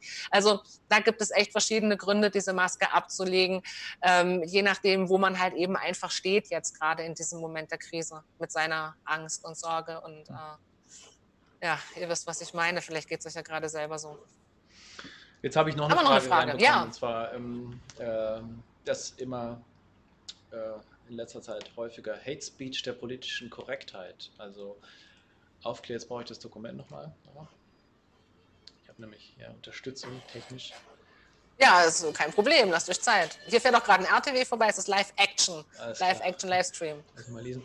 Ich beobachte in letzter Zeit, jetzt ist es wieder weg, muss wieder rein, häufiger Hate Speech der politischen Korrektheit, also aufklärerischen Impuls mit hasserfüllter Kommunikationsstruktur. Wie kann man ja. damit umgehen? Hast du nachvollziehen? Ja, ich kann, ich kann super nachvollziehen, ähm, was ich glaube, ich glaube, ich weiß, was damit gemeint ist. Das ist viele äh, schießen über das Ziel hinaus, wenn sie Gegenrede leisten. Das ist nicht zielführend. Ähm, ich bin ein großer Freund davon, ich habe gesagt, immer respektvoll zu bleiben. Also ich mag es nicht, den Leuten kleine Aluhutkeule aufzudrücken, ja, und du Schwurbler, du Depp, du Idiot, äh, du Verschwörungstheoretiker. Ähm, wir sagen in der Künstlerszene, also ich mache auch ein bisschen Illustration nebenher, wir sagen in der Künstlerszene, man soll seine Kritik vorbringen like a cookie, ja, comment like a cookie, ähm, wrapped in chocolate, also umhülle deine Kritik bitte in Schokolade, ähm, fange freundlich an, und sagt der Person zum Beispiel, ey, ich finde super, dass du dir Gedanken machst und äh, finde ich ja große Klasse. Ähm, und dann kommt die eigentliche Kritik, aber ähm, vielleicht war das doch ein bisschen zu harsch und äh, aber guck mal, er hat vielleicht äh, eigentlich eher eine Frage hierzu oder dazu. Ich habe da mal was recherchiert, ich habe da mal was geguckt oder nimm dir auf jeden Fall auch Zeit für einen Kommentar. Wenn du siehst, dass jemand, äh, der eigentlich aufklärerisch ähm, kommentieren wollte, das Ziel hinausgeschossen ist und rumgeekelt und rumgestänkert hat, ähm, übernimm du den Part der Freundlichkeit. Und zwar wrapped in chocolate. Äh, wie gesagt, sei freundlich, bring deine Kritik vor, sachlich, fundiert, recherchiert, nimm dir Zeit für deinen Kommentar und schließt das Ganze auch nochmal ab, vielleicht mit einem lieben Gruß oder bleib gesund oder alles Gute. Ich finde, es gibt keinen Grund, äh, eklig und persönlich beleidigend zu werden, ähm, wenn er dir nicht gerade einen Dickpick geschickt hat. Ja, also ihr wisst, was ich meine. Es ist, äh, wir sollten alle noch die Regeln äh, und einen guten Anstand der Kommunikation wahren. Vor allem im Internet. Mir gefällt es auch nicht, äh, weil ich versuche auch immer möglichst freundlich zu bleiben oder die Diskussion dann halt eben gleich zu meiden, wenn ich sehe, es bringt nichts. Ähm, aber diese Art und Weise, äh, aufklärerisch zu pöbeln, finde ich not nice, finde ich auch nicht zielführend und ähm, nimmt äh, unserer Botschaft ehrlich gesagt auch ähm, die Seriosität. Und ich habe irgendwie manchmal ein bisschen Sorge, weil so viel aufklärerisch gepöbelt wird, hört man uns irgendwann nicht mehr zu. Deswegen ähm, hoffe ich, dass ihr in meinem Vortrag eher das Gefühl gehabt habt, dass wir uns über die Menschlichkeit auch unterhalten und äh, über das, was dahinter steckt, was Leute da antreibt. Und vielleicht äh, habt ihr euch in manchen Punkten wiedererkannt, nicht im verschwörungsideologischen, sondern in anderen Lebensbereichen. Und ähm, könnt deswegen nachvoll besser nachvollziehen, was in jemandem vorgeht, der mal auf eine Fake News hereinfällt. Und wenn jemand zuguckt, ähm, der selber in einem verschwörungsideologischen Elternhaus lebt, mit Eltern, die vielleicht an alternativmedizinischen Mist glauben, ähm, oder also wenn ihr noch nicht volljährig seid, ähm, gibt es Möglichkeiten, euch zu helfen. Könnt euch an uns wenden. Wir haben Kontakt, das ist kein Problem. Auch wenn ihr mal jemanden zum Reden braucht, sind wir da. Und ähm, es ist ganz wichtig, dass ihr wisst, dass ihr für euer eigenes Leben eure Entscheidungen treffen könnt und dass ihr nicht den Glauben eurer Eltern übernehmen müsst. Egal, ob das ein Gottglaube ist oder ein Gottglaube an Verschwörungstheorien oder ob sie Impfgegner sind. Ihr habt das Recht auf eure eigene Meinung und ihr seid eigenständige Persönlichkeiten. Und das solltet ihr verinnerlichen, ganz egal, wie alt ihr seid, damit ihr nicht wie ich bis Ende des 27. Lebensjahres braucht, um euch von eurer Mutter zu lösen. Ähm, wie gesagt, also es ist very important to make facts great again dass wir äh, unsere Fakten checken und über uns selbst reflektieren, äh, was das eigentlich in uns auslöst, was wir da gelesen haben und äh, wie wir damit umgehen. Und da bin ich, glaube ich, schon am Ende meiner Zeit oder haben wir noch eine Frage? Äh, wir haben noch eine einzige Frage. Ja, komm. Zwei Sätze und dann mache ich ein kurzes Wrap-up und wir können überleiten zu deinem Kollegen Rüdiger. Warum, ganz kurz, sind manche Menschen anfälliger für Verschwörungstheorien als andere? ganz kurz, äh, geht leider nicht, aber beantworte ich Klar. trotzdem, weil es eine mega wichtige Frage ist. Ja. Ähm, es gibt auch sowas wie die ideologische Vorbelastung. Und es gibt sowas wie, ähm, dass man vielleicht selber schon Opfer von Verfolgung gewesen ist oder in einem totalitären Staat gelebt hat. Also jeder, äh, der in der DDR geboren und aufgewachsen ist, der weiß, wie es ist, unter einem diktatorischen Staat zu leben. Jeder, äh, der noch das Dritte Reich miterlebt hat, äh, vielleicht ist jemand dabei, der uns gerade zuschaut, äh, wird sich noch daran erinnern können, wie das gewesen ist oder ähm, um, persönliche eigene Glaubenserfahrungen gemacht. Also ich habe leider auch sehen müssen, dass Menschen, die wie ich aus Sekten ausgestiegen sind, äh, auch immer noch versucht haben, dieses Loch, das, das der Sektenausstieg äh, hinterlassen hat, mit was anderem zu füllen. Meine Mutter ist dann nach unserem Sektenausstieg straight ähm, in den verschwörungsideologischen Glauben gegangen. Sie hat sich dann erst noch so ein bisschen mit unserer jüdischen Vergangenheit auseinandergesetzt und äh, weil meine Oma ist ja jiddisch gewesen und äh, ist nach Israel gereist und dies und das und dann kam die Sache mit den Verschwörungs Verschwörungstheorien und mit den Rechten und dann ist er mit den Nazis marschiert und so totaler Blödsinn. Ähm, aber meine Mutter hat immer versucht, dieses ideologische Loch zu füllen. Sie hat versucht, eine Heimat zu finden, irgendwie so ein Safe Point, etwas, das ihr ein Zuhause gibt. Und ähm, ich habe das auch drei Jahre getan zwischen dem Sektenausstieg und ähm, der Sektenausstiegstherapie. Ich habe dann noch ein paar Freikirchen besucht und ähm, habe dann auch versucht, mich mit dem jüdischen Glauben anzufreunden, aber irgendwie war es dann doch nicht so meins. Und dann habe ich diese Sektentherapie gemacht gemacht, dann habe ich begriffen, dass ich eigentlich überhaupt gar kein gläubiger Mensch bin, dass ich ein Skeptiker bin und ein Atheist und dass Science the best bitch on earth ist. Und ähm, gut, das wusste ich vorher schon, aber jetzt habe ich dann, dann habe ich begriffen, dass diese Sache mit dem Glauben ist mir auf, äh, auferlegt worden und aufgezwungen äh, worden. Und äh, vielleicht hört ja jemand zu, dem es genauso gegangen ist. Und äh, ich kann sehr gut, ich kann sehr gut verstehen, wie du dich jetzt gerade fühlst und äh, dass du vielleicht eventuell das Gefühl hast, dass diese ganzen Verschwörungserzählungen wahr sein könnten über die Fremdkontrolle und dass jemand anders die Strippen zieht. Und das ist auch gar nicht so abwegig, ähm, weil da hat zum Beispiel jemand auch eine Studie dazu gemacht, die Uni Freiburg in der Schweiz. Die hat die Schnittmenge untersucht zwischen Kreationisten und Verschwörungsideologen. Und ähm, das ist die Teleologie. Teleologie ähm, ist der Glaube, dass alles ähm, von einer höheren Macht gesteuert ist und äh, von einer größeren Entität oder nichts aus dem Zufall heraus passiert. Und da bieten sich natürlich solche Verschwörungsmythen und äh, Gotterzählungen und Satanserzählungen total an. Und ähm, wenn du vielleicht eventuell schon an solche Sachen geglaubt hast, dann ist es wesentlich einfacher, solchen Verschwörungsmythen zu folgen. Ähm, Beispiel Zeugen Jehovas Fun Fact, ähm, man wartet ja darauf, dass die neue Weltordnung eintritt, also das Paradies auf Erden wiederhergestellt wird, die NWO. So, jetzt ist, was ist denn die NWO bei den Verschwörungstheoretikern? Die New World Order. So, das eine ist natürlich cool und gut und, und super, ähm, das Paradies auf Erden wird wiederhergestellt, ähm, aber das andere ist total super und fies und äh, NWO, äh, jüdische Weltverschwörung auch und ähm, ja, da kann man auch schon mal so ein bisschen ins Straucheln kommen, äh, vor allem, weil sowieso noch Verschwörungs Verschwörungstheorien um den Religionsgründer existieren und äh, die Illuminaten und Freimaurer und also es kann sein, Menschen ideologisch vorbelastet sind, die Opfer von Verfolgung wurden. Ähm, Menschen, die auch an einer seelischen Erkrankung leiden können und bei denen es Ausdruck äh, dieser Erkrankung ist, an Verschwörungstheorien zu glauben. Ganz wichtig, klammern wir hier mal aus, ähm, sie können nichts dafür ganz wichtig, ähm, diese Menschen können nichts dafür. Ähm, das sind keine Leute, die auf eine Fake News reingefallen sind und dann irgendwo bei Google falsch abgebogen sind. Ähm, das ist therapiewürdig und da würde ich mich auch mega freuen, dass wenn jetzt vielleicht Leute zugucken, die in Beratungsstellen tätig sind oder im psychotherapeutischen Bereich, im äh, pädagogischen Bereich tätig sind, sagen, ähm, okay, ich sehe ein Bedürfnis, äh, mich darum zu kümmern und ähm, eine Therapiemöglichkeit zu bieten oder mal einen Workshop äh, bei mir äh, zu machen, äh, wo ich arbeite, äh, bitte macht sowas. Ja, wir haben da ganz viel Bedarf für, mega, mega viel Beratungsbedarf und dass Leute ähm, Stellen haben, an die sie sich wenden können, wo sie Hilfe erlangen. Und wir sind auch gerne da, um euch zu briefen. Das ist nämlich genau unser Job. Und äh, um denjenigen äh, was an die Hand zu geben, die anderen Leuten was. Wir, wir machen Hilfe zur Selbsthilfe und Hilfe zur Hilfe für Beratungsstellen. Es ist ganz wichtig, dass wir da alle zusammenarbeiten. Und mit ein bisschen Glück gibt der Staat vielleicht auch mal ein bisschen Geld dafür, jetzt wo wir gesehen haben, dass Verschwörungsmythen ja auch tatsächlich ein großes Problem sind in unserer Gesellschaft. Wir hoffen es ja. auch und das ist ein schönes ähm, Schlusswort, denn das Wort Heimat passt natürlich zu DAI Home und wir wollen mal anbieten, hier sozusagen eine Heimat zu bieten, indem wir erstmal gucken, rausgucken, was gibt es so und jetzt gucken wir jetzt sozusagen in die Faktenchecker-Lage und leiten über zu Rüdiger Reinhardt, der uns den anderen wichtigen Teil unserer Heimat, ähm, nämlich also den Umgang mit Quellen und so weiter präsentieren wird. Vielen Dank, Julia Silberberg. Sehr, sehr gerne. Für ein engagiertes ja. Eintreten. Und ähm, jetzt, wie machen wir die Überleitung? Ihr wechselt den, die Position. Wir und, wechseln ähm, jetzt die Position, richtig. Vielen Dank genau. an alle, die kommentieren und sich engagieren weitermachen. Wir haben auch eine E-Mail-Adresse für alle, die sich nicht trauen oder gerne ähm, nicht öffentlich kommentieren wollen, keinen YouTube-Account haben. presse.dri-heidelberg.de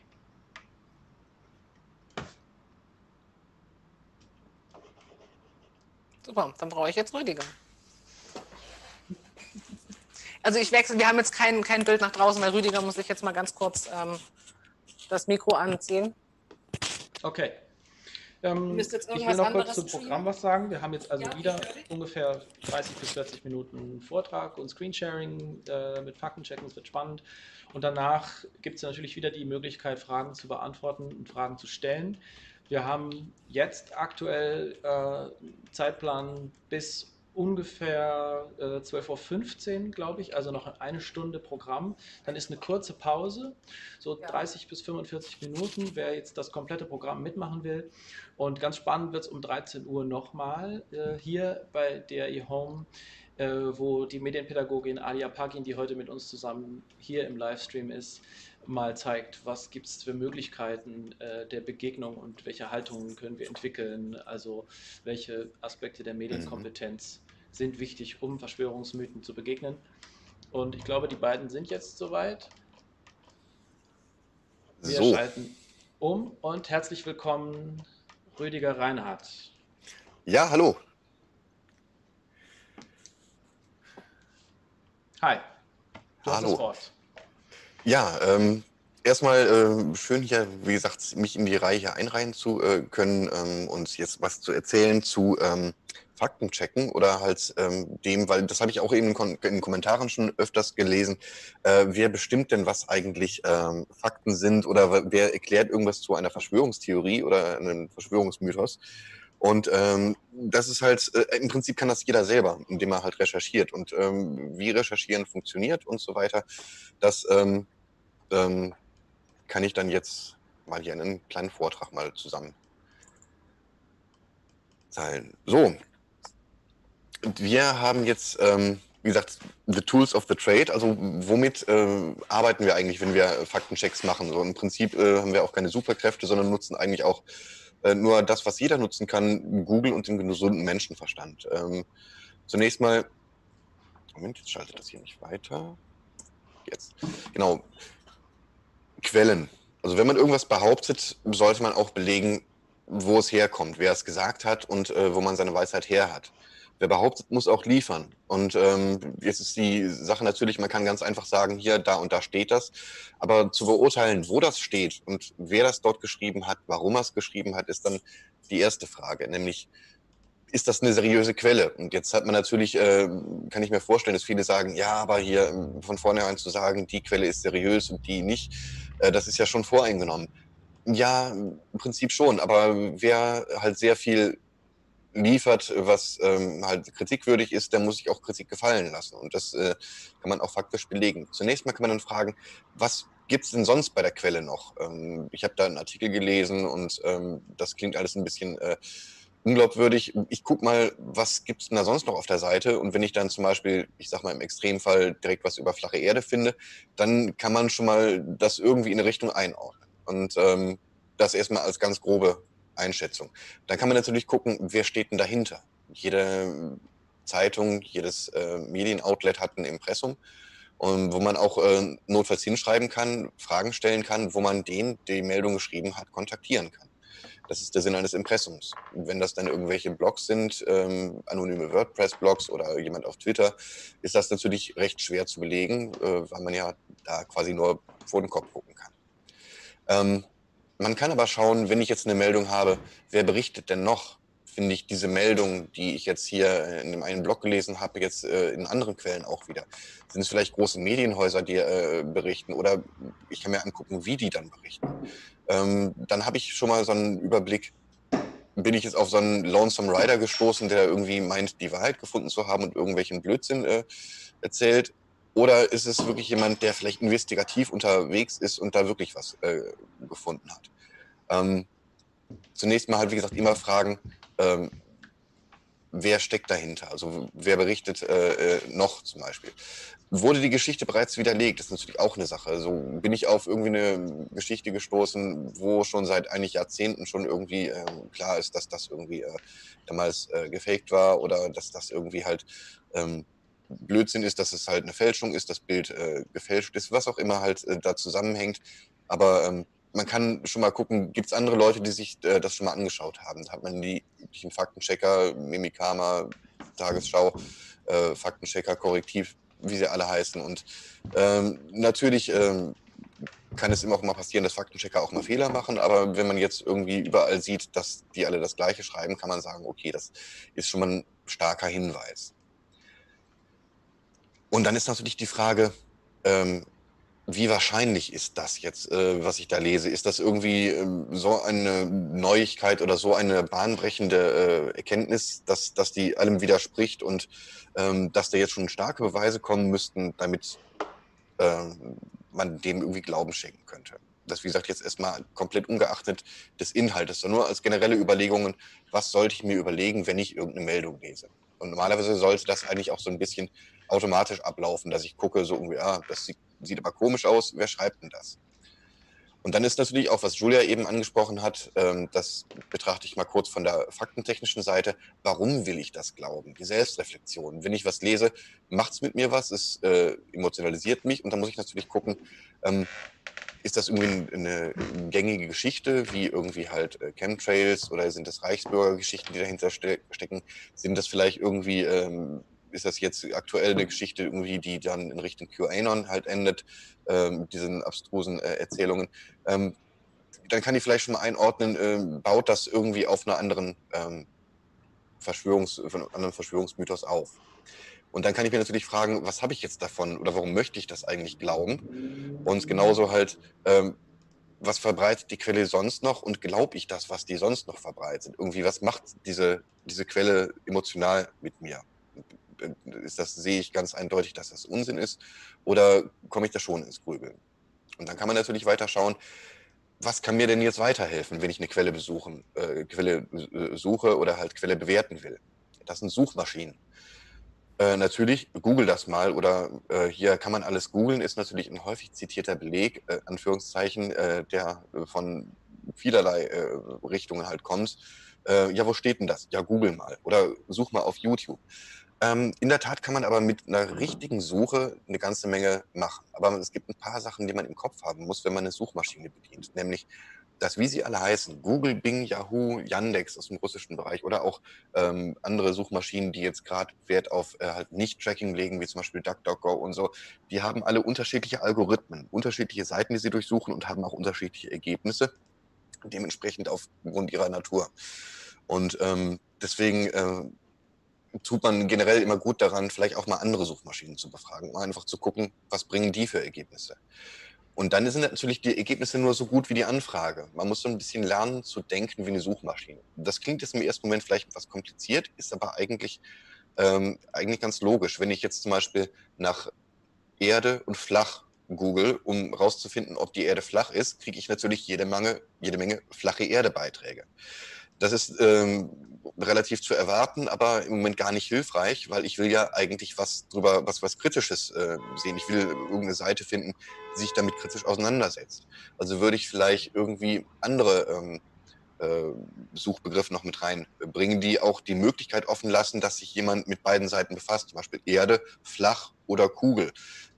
Blödes Beispiel, aber halt, um das einfach mal zu zeigen, halt, dass man äh, auch, wenn man sucht, äh, schon im Kopf haben, muss, ich möchte eigentlich ergebnisoffen sein. Ich möchte jetzt nicht nach ähm, ähm, Impfen gefährlich äh, googeln, sondern halt Impfen Risiken oder, oder halt irgendwie was neutraler formulieren. Deswegen äh, einfach mal gucken, wenn man nur seltsame Seiten bekommt, äh, einfach mal gucken, wonach habe ich jetzt wirklich gesucht. Was würde ich rausgeben, wenn ich eine Suchmaschine wäre? Weil die äh, ist ja gar nicht mehr so klug, sondern macht einfach nur das, was man da gibt. Und dann gibt es noch so ein paar Tricks, Suchergebnisse präzisieren. Man kann bei Google zum Beispiel, das ist bei der Artikelrecherche recht hilfreich, äh, die Suche auf einen Zeitraum eingrenzen. Ich sage zum Beispiel, ich suche, äh, ob was zu diesem Thema im letzten Jahr veröffentlicht wurde. Dann kann ich sagen, suche nur in 2018 oder 2019. Oder ich kann zum Beispiel, wenn ich jetzt ähm, ähm, irgendein ein Teekesselchen Wort habe, was irgendwie in einem anderen Kontext auch verwendet wird. Zum Beispiel will ich nach Aktienfonds suchen, aber keine Suppenfonds haben, dann kann ich noch ein Minus Küche oder Minus Rezept da irgendwie äh, in den Suchbegriff reinbringen, äh, um halt einen bestimmten Begriff auszuschließen. Oder wenn ich einen bestimmten Begriff auf jeden Fall drin haben ähm, möchte, kann man ein kleines Pluszeichen davor stellen. Ähm, solche Sachen helfen, um halt die Fragestellung ein bisschen zu präzisieren. Ähm, genauer zu gucken. Ich kann nach Dateitypen suchen. Zum Beispiel, ich suche nur Bilder oder ich suche nur Videos oder ich suche nur ähm, Bilder von einer bestimmten Größe. So kann man beim Bedienen der Suchmaschine auch schon ganz viel ähm, der mit auf den Weg geben, um das Ergebnis, was man dann nachher selber natürlich noch durchsuchen muss, äh, durcharbeiten muss, schon mal möglichst präzise einzugrenzen und vielleicht ein paar ähm, Blödsinnstreffer rauszulassen. Und dann ist natürlich eine ganz wichtige Sache, das ist auch ein ganz weites und ähm, immer wichtiger werdendes Thema, nämlich Bilder. Ähm, Artikel werden begleitet von Bildern. Und diese Bilder sind das erste nach der Überschrift, was wir so vom Artikel wahrnehmen. Und wenn dann ein Bild uns schon irgendwas vermittelt, weil es einfach zum Beispiel halt ähm, konstruiert wurde, speziell für diesen Artikel gebaut wurde und sehr dramatisch aussieht, dann macht uns das, äh, mit uns das mehr als vielleicht einfach nur ein Bild von der eigentlichen Situation, um die es geht. Und ähm, deswegen Bilder muss man prüfen. Es gibt auch zum Beispiel halt Bilder, die äh, sind zwar echt, aber gehören gar nicht in diesen Artikel hinein, sondern gehören zu einem ganz anderen äh, äh Event, einer ganz anderen Geschichte. Und das nennen wir Hybrid-Fakes. Das sind echte Bilder in falschem Kontext. Äh, was mir spontan dazu einfällt, ist zum Beispiel ein Bild, was ein überfülltes Schiff voller Flüchtlinge zeigt und dort ähm, beschrieben wird, dass äh, das Bild äh, nicht die ähm, ähm im Mittelmeer gerade befindlichen Flüchtlinge zeigt, sondern halt aus dem Zweiten Weltkrieg sei und dass das äh, halt dementsprechend so eine Falschmeldung, so eine Hybrid-Falschmeldung wäre guter Ansatz, aber auch noch nicht ganz richtig. Es ist nämlich nicht aus dem Zweiten Weltkrieg, sondern es ist aus einem anderen äh, Kontext. Nämlich das zeigt die Cap Anamur, Anamur dieses äh, Schiff damals, wenn ich das äh, richtig im Kopf habe gerade. Aber so sieht man halt wie ein Bild, was eigentlich auch komplett korrekt ist, nicht gefaked ist, in einem anderen Kontext wiederverwendet wird. Und das ist natürlich nicht hilfreich oder lässt zumindest mal dann dran zweifeln an dieser Geschichte, weil wenn man jetzt ein anderes Bild schon hernehmen muss, um das zu illustrieren, ähm, vielleicht gibt es gar kein Bild von dem Event, vielleicht ist es gar nicht echt. Das wäre zumindest schon mal ein Anhaltspunkt. Dann ist es natürlich eine Sache, Bilder können natürlich auch komplett gefälscht sein. Da gehen wir nachher auch noch mal ein bisschen drauf ein, wie man erkennen kann, ob ein Bild gefotoshoppt ist. Das, da gibt es nämlich Mittel und Wege, um zumindest ein paar Anhaltspunkte zu finden. Und ähm, dann gibt es noch natürlich die Geschichte, was viele auch nicht wissen. Viele Agenturen nehmen einfach Symbolbilder. Das sieht man halt bei irgendwelchen wiederkehrenden Themen äh, bei der Homöopathie sind es immer halt irgendwelche Globuli, äh, beim Impfen sind es irgendwelche Spritzen. Das sind Symbolbilder, die aus ähm, einer Bilddatenbank, einer freien Bilddatenbank sind oder wo jemand lizenziert hat und die man einfach da in den Artikel als Symbolbild einfügt. Die sind eigentlich kennzeichnungspflichtig. Das heißt, wenn ich einen Artikel schreibe und nehme so ein Symbolbild, damit das ein bisschen netter aussieht, muss ich dran schreiben, dass das ein Symbolbild ist. Machen nicht alle, aber so, ein, äh, wenn man nach einem solchen Symbolbild sucht, dann äh, findet man relativ häufig viele Vorkommnisse dieses Bildes, einfach weil es gerne und oft genommen wird. Stichwort Bildersuche, nämlich man kann auch nach Bildern suchen. Und das ist das, was wir halt brauchen, wenn ich jetzt gucken will, passt das Bild zu dem Artikel, den ich da gerade lese. Und da gibt es eine ganze äh, Menge Möglichkeiten. Es gibt zum Beispiel die Google-Rückwärtssuche. Äh, da kann man entweder ein Bild hochladen oder halt ähm, eine URL von dem Bild angeben oder einfach einen Screenshot eingeben. Und Google sucht dann nach Vorkommnissen dieses oder ähnlicher Bilder.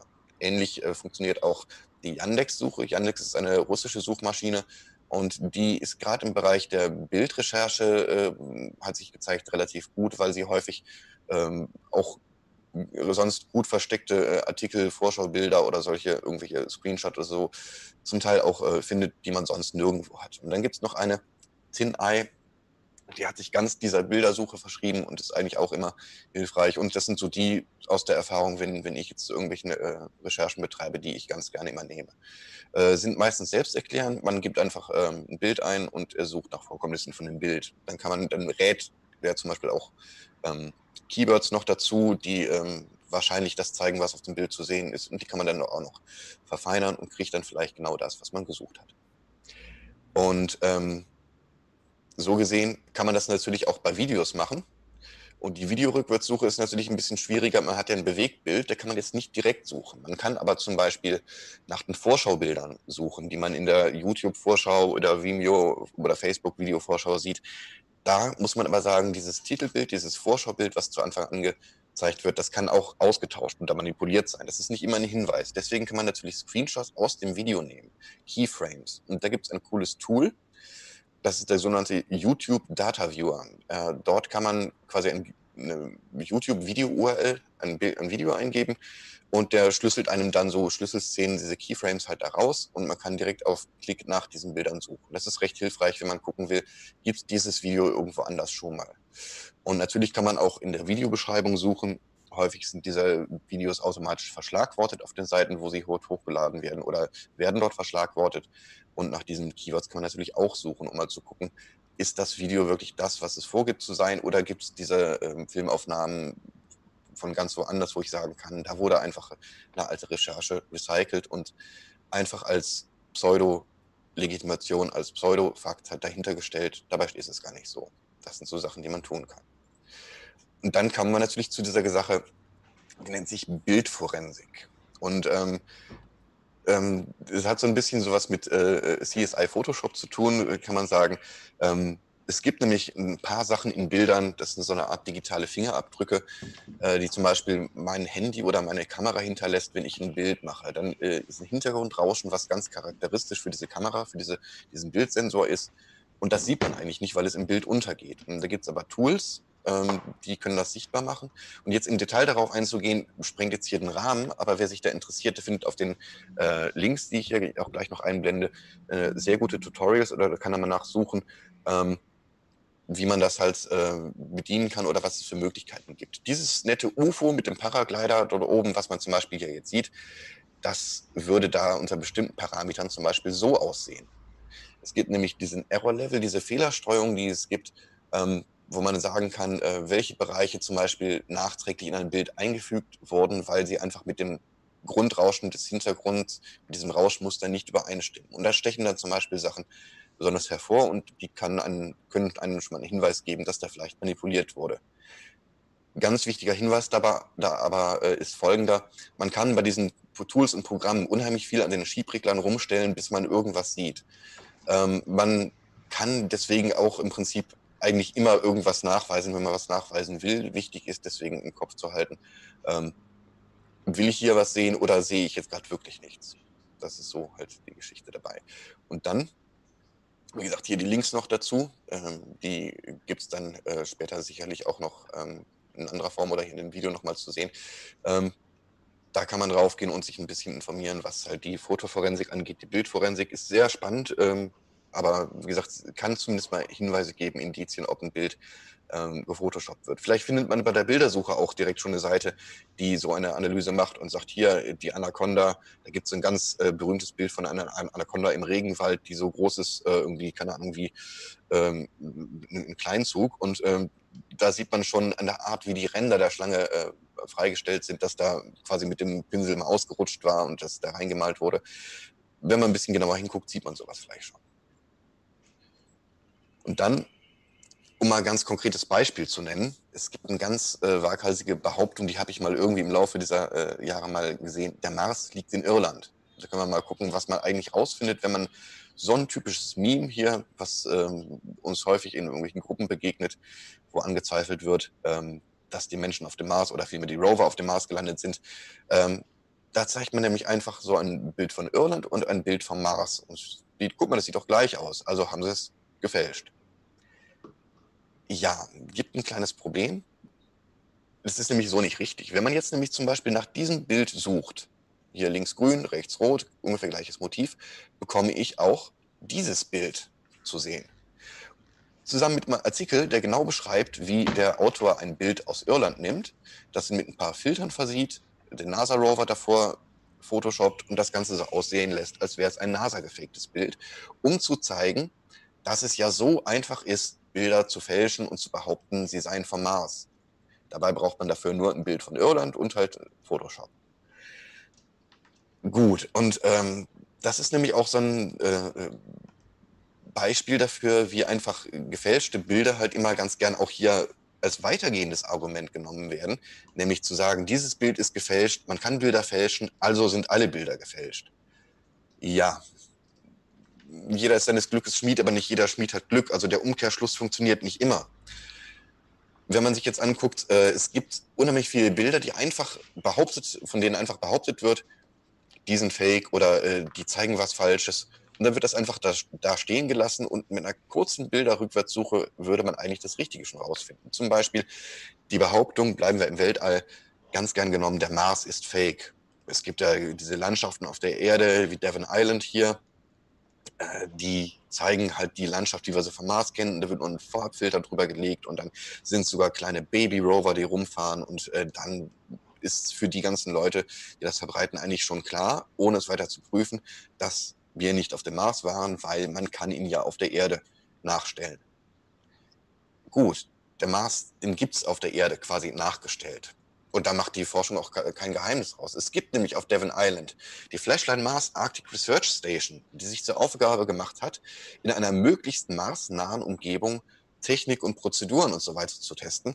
Und so kann man halt mit ein paar, einfach nur einer ganz kurzen Google-Suche direkt eine wunderbar plausible und passende Erklärung ähm, hernehmen, die es nicht erforderlich macht, eine ganze Reihe von anderen Sachen umzustoßen oder in Zweifel zu ziehen, sondern einfach die sich nahtlos in alles einfügt, was sich gegenseitig sonst auch schon erklärt und bestätigt. Wie zum Beispiel halt ähm, Funksignale, die definitiv aus der Richtung des Mars kommen und einfach sonstigen Fakten, die wir nachprüfen können. Weil diese ganzen Geschichten ähm, bei dieser Faktencheck-Geschichte, was einem da aufpasst, äh, was einem da auffällt, ist nämlich, die arbeiten immer mit den gleichen einfachen Tricks. Es wird nämlich einfach eine Behauptung aufgestellt oder in den Raum gestellt und irgendwas kurz zitiert, aber nachprüfbar oder nachsuchbar ist das nicht, es sei denn, man gibt sich mit äh, sehr abstrusen YouTube-Videos, die wiederum keine Belege haben, zufrieden. Wenn man das als glaubwürdige Quelle bezeichnet, dann gibt es natürlich für alles einen Beleg, aber das ist natürlich kein faktischer Beleg, nichts, was man nachprüfen kann. Und äh, es gibt mal einen schönen ähm, äh, Vergleich, den ich mal gehört habe, wenn man irgendwelche Mythen, irgendwelche Fabelgeschichten, die ganzen Bücher dazu verbrennen würde, dann wäre das Wissen verloren, dieses Wissen. Würde man aber wissenschaftliche Bücher verbrennen und zerstören, dann wären die irgendwann genauso wieder da, weil die Wissenschaft sich nicht geändert hat, weil man es alles wieder neu herausfinden und belegen kann. Braucht halt was Zeit, aber man käme zum gleichen Ergebnis. Was diese Seiten sonst noch machen, sie fragen halt, äh, statt auszusagen hier, können die Aliens was äh, damit zu tun haben? Wollen sie etwas vertuschen? Es werden Fragen gestellt, anstatt Fakten anzugeben. Es werden Fragen gestellt, die uns selber dazu anregen, was zu hinterfragen und dann das zu nehmen, was wir vor Augen haben, nämlich diesen Artikel, der uns das die ganze Zeit erklären möchte. Und es werden zum Beispiel auch Pseudo-Experten zitiert. Ähm, viele dieser Verschwörungsmythen und Verschwörungsideologien haben einen nach außen klingenden, ganz wissenschaftlichen Touch und beschreiben dann vielleicht auch in einem ähm, anscheinendlichen Fachvokabular äh, irgendwelche Sachverhalte. Ähm, die sind aber von der Aussage faktisch einfach falsch und da sind zum Teil Experten, äh, die werden ganz gerne zitiert, zum Beispiel, ich sage hier mal vom Milchfachwirt zum Medizinjournalisten. Ähm, damit ist äh, zum Beispiel ähm, Hans Tolzin gemeint, der äh, eine sehr impfkritische Seite hat, um es mal so zu sagen. Und ähm, mittlerweile halt auch von anderen Quellen als Medizinjournalist oder Impfexperte zitiert wird. Dabei ist er eigentlich nicht mehr als Milchfachwirt. In seinem Gebiet vielleicht Koryphäe, man weiß es nicht, aber letztendlich ähm, die Gebiete, wo er was drüber sagt, da weiß er eigentlich nichts von. Und das macht ihn zumindest mal fragwürdig als Experten. Und wenn man dann auf der anderen Seite äh, Wissenschaftler hat, die seit Jahrzehnten in dem Bereich forschen, ähm, sind die einfach per se als glaubwürdiger zu betrachten. Das ist nämlich auch die nächste Sache. Wissenschaft, und das ist eine ganz, ganz wichtige Sache. Wie Julia auch eben schon sagte, Science, it works, bitches, um mal Richard Dawkins zu zitieren, der nämlich gesagt hat, wenn man alles auf dem wissenschaftlichen Prinzip beruht, kann man nicht falsch liegen, was solche Sachen angeht, wie zum Beispiel, dass Flugzeuge fliegen, wenn man sie nach der Wissenschaft baut. Wissenschaft ich fange mal so an. Im Moment ähm, gibt es viel berechtigte Kritik ähm, an der aktuellen Situation, ähm, was den Wissensstand zum Coronavirus angeht. Die Wissenschaftler, die Wissenschaftler widersprechen sich ja jeden Tag. Es kommen ja dauernd neue Erkenntnisse raus und äh, die sind ja unglaubwürdig, wenn sie dauernd ihre Meinung ändern.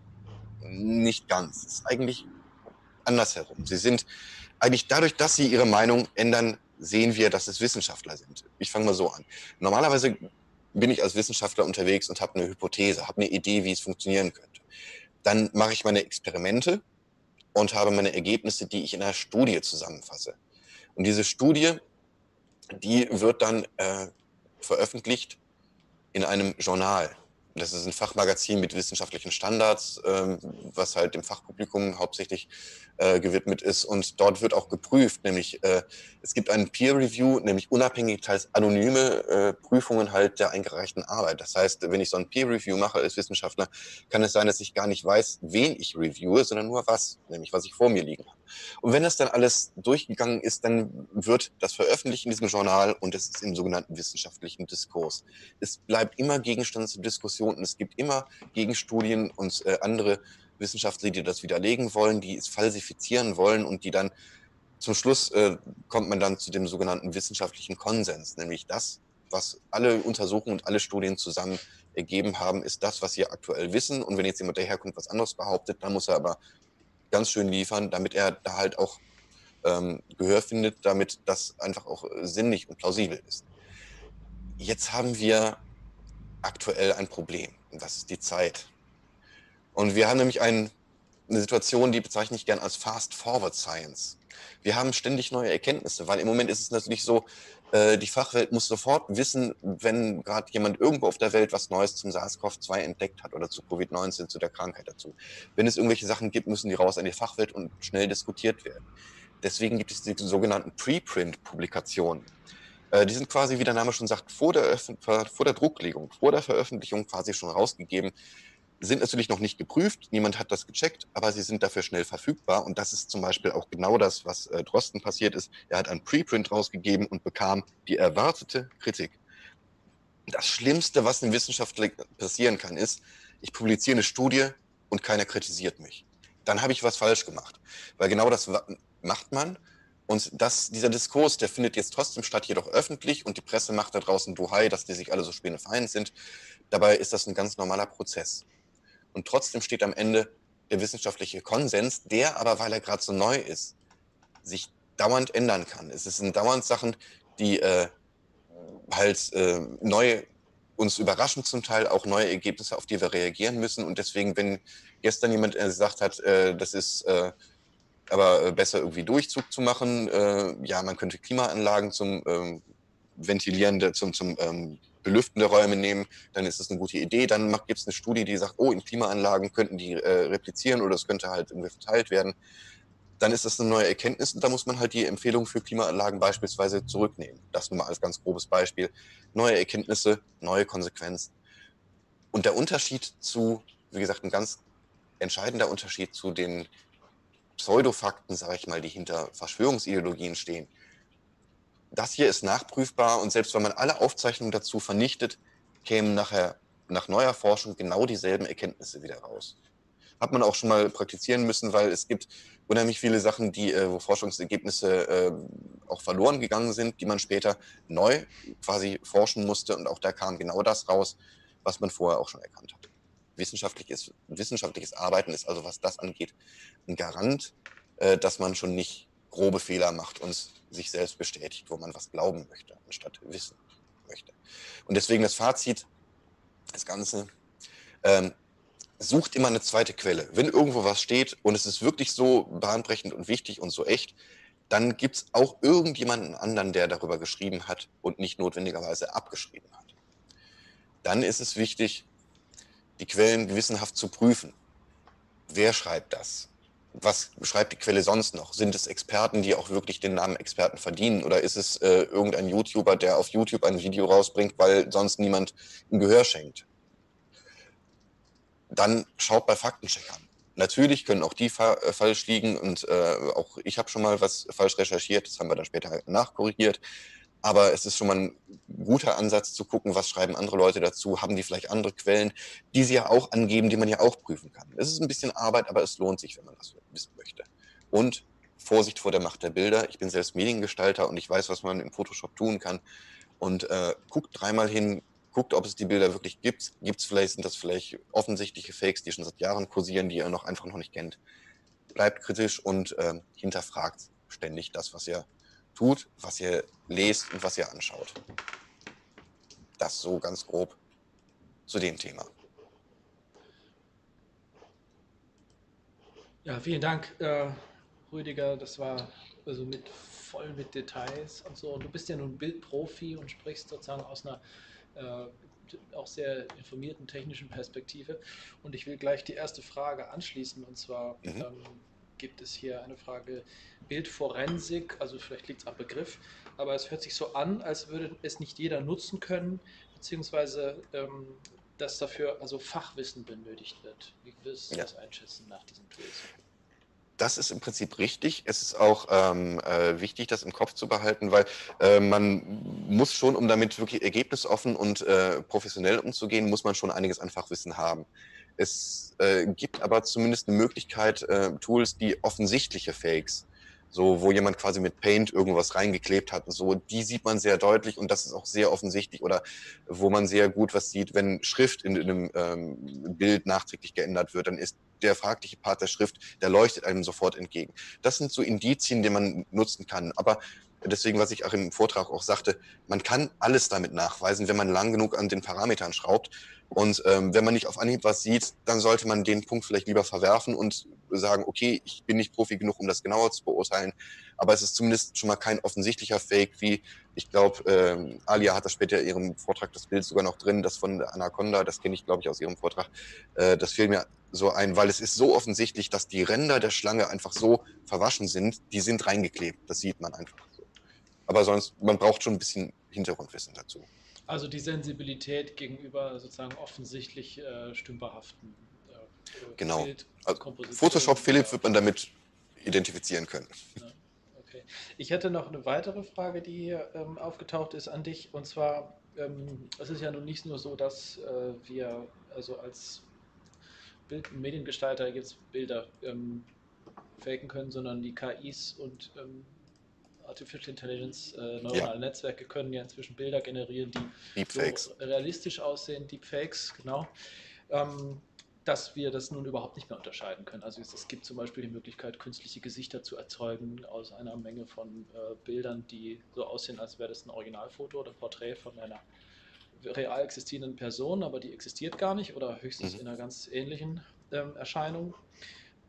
Kann man dem irgendwie auf die Spur kommen oder beziehungsweise was wären denn Wege hinter die Quelle, hinter die sozusagen hinter die Quelle des Bildes oder hinter die ähm, Entstehung von so einem Bild? Also das muss man vorausschicken, Deepfakes sind in der Tat ein Problem, einfach weil sie so verdammt gut sind. Äh, einfach weil ähm, das ein, ein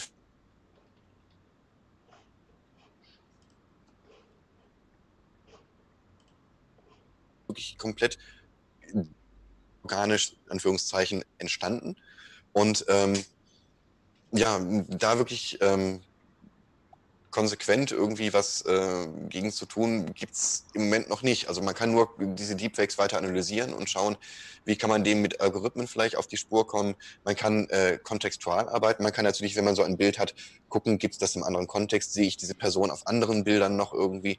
Gucken, äh, nicht, sich nicht auf das Bild selber konzentrieren, sondern auf das Umfeld. Gibt es da Ungereimtheiten? Aber es macht es auf jeden Fall sehr, sehr schwierig und äh, ja, ähm, bereitet in der Tat ein wenig Kopfzerbrechen, wie wir mit dieser neuen äh, Qualität von Fakes umgehen können. Und ja, das ist schon nicht leicht.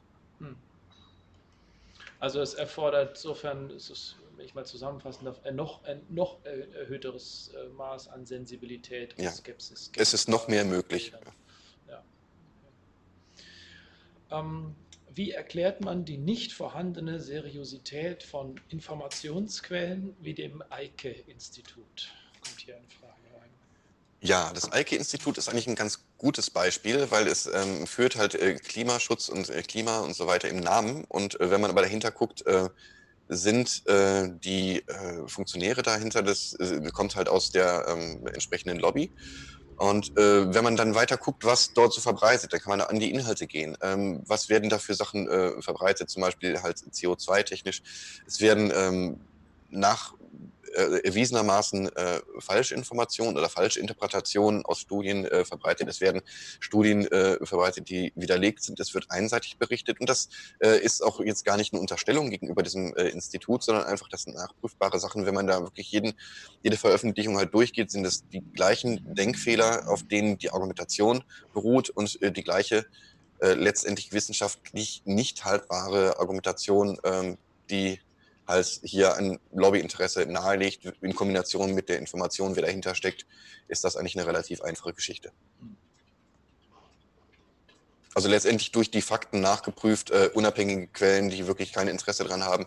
Ähm, das ist nebenbei auch noch so eine Sache. Jeder, Wissenschaftler, jeder Wissenschaftler, der veröffentlicht, muss seine Affiliation mit angeben. Das heißt, in der Studie schreibe ich rein, wenn da irgendwie Interessenskonflikte bestehen könnten, weil ich für irgendein Institut arbeite oder sowas. Das steht da drin, das ist transparent.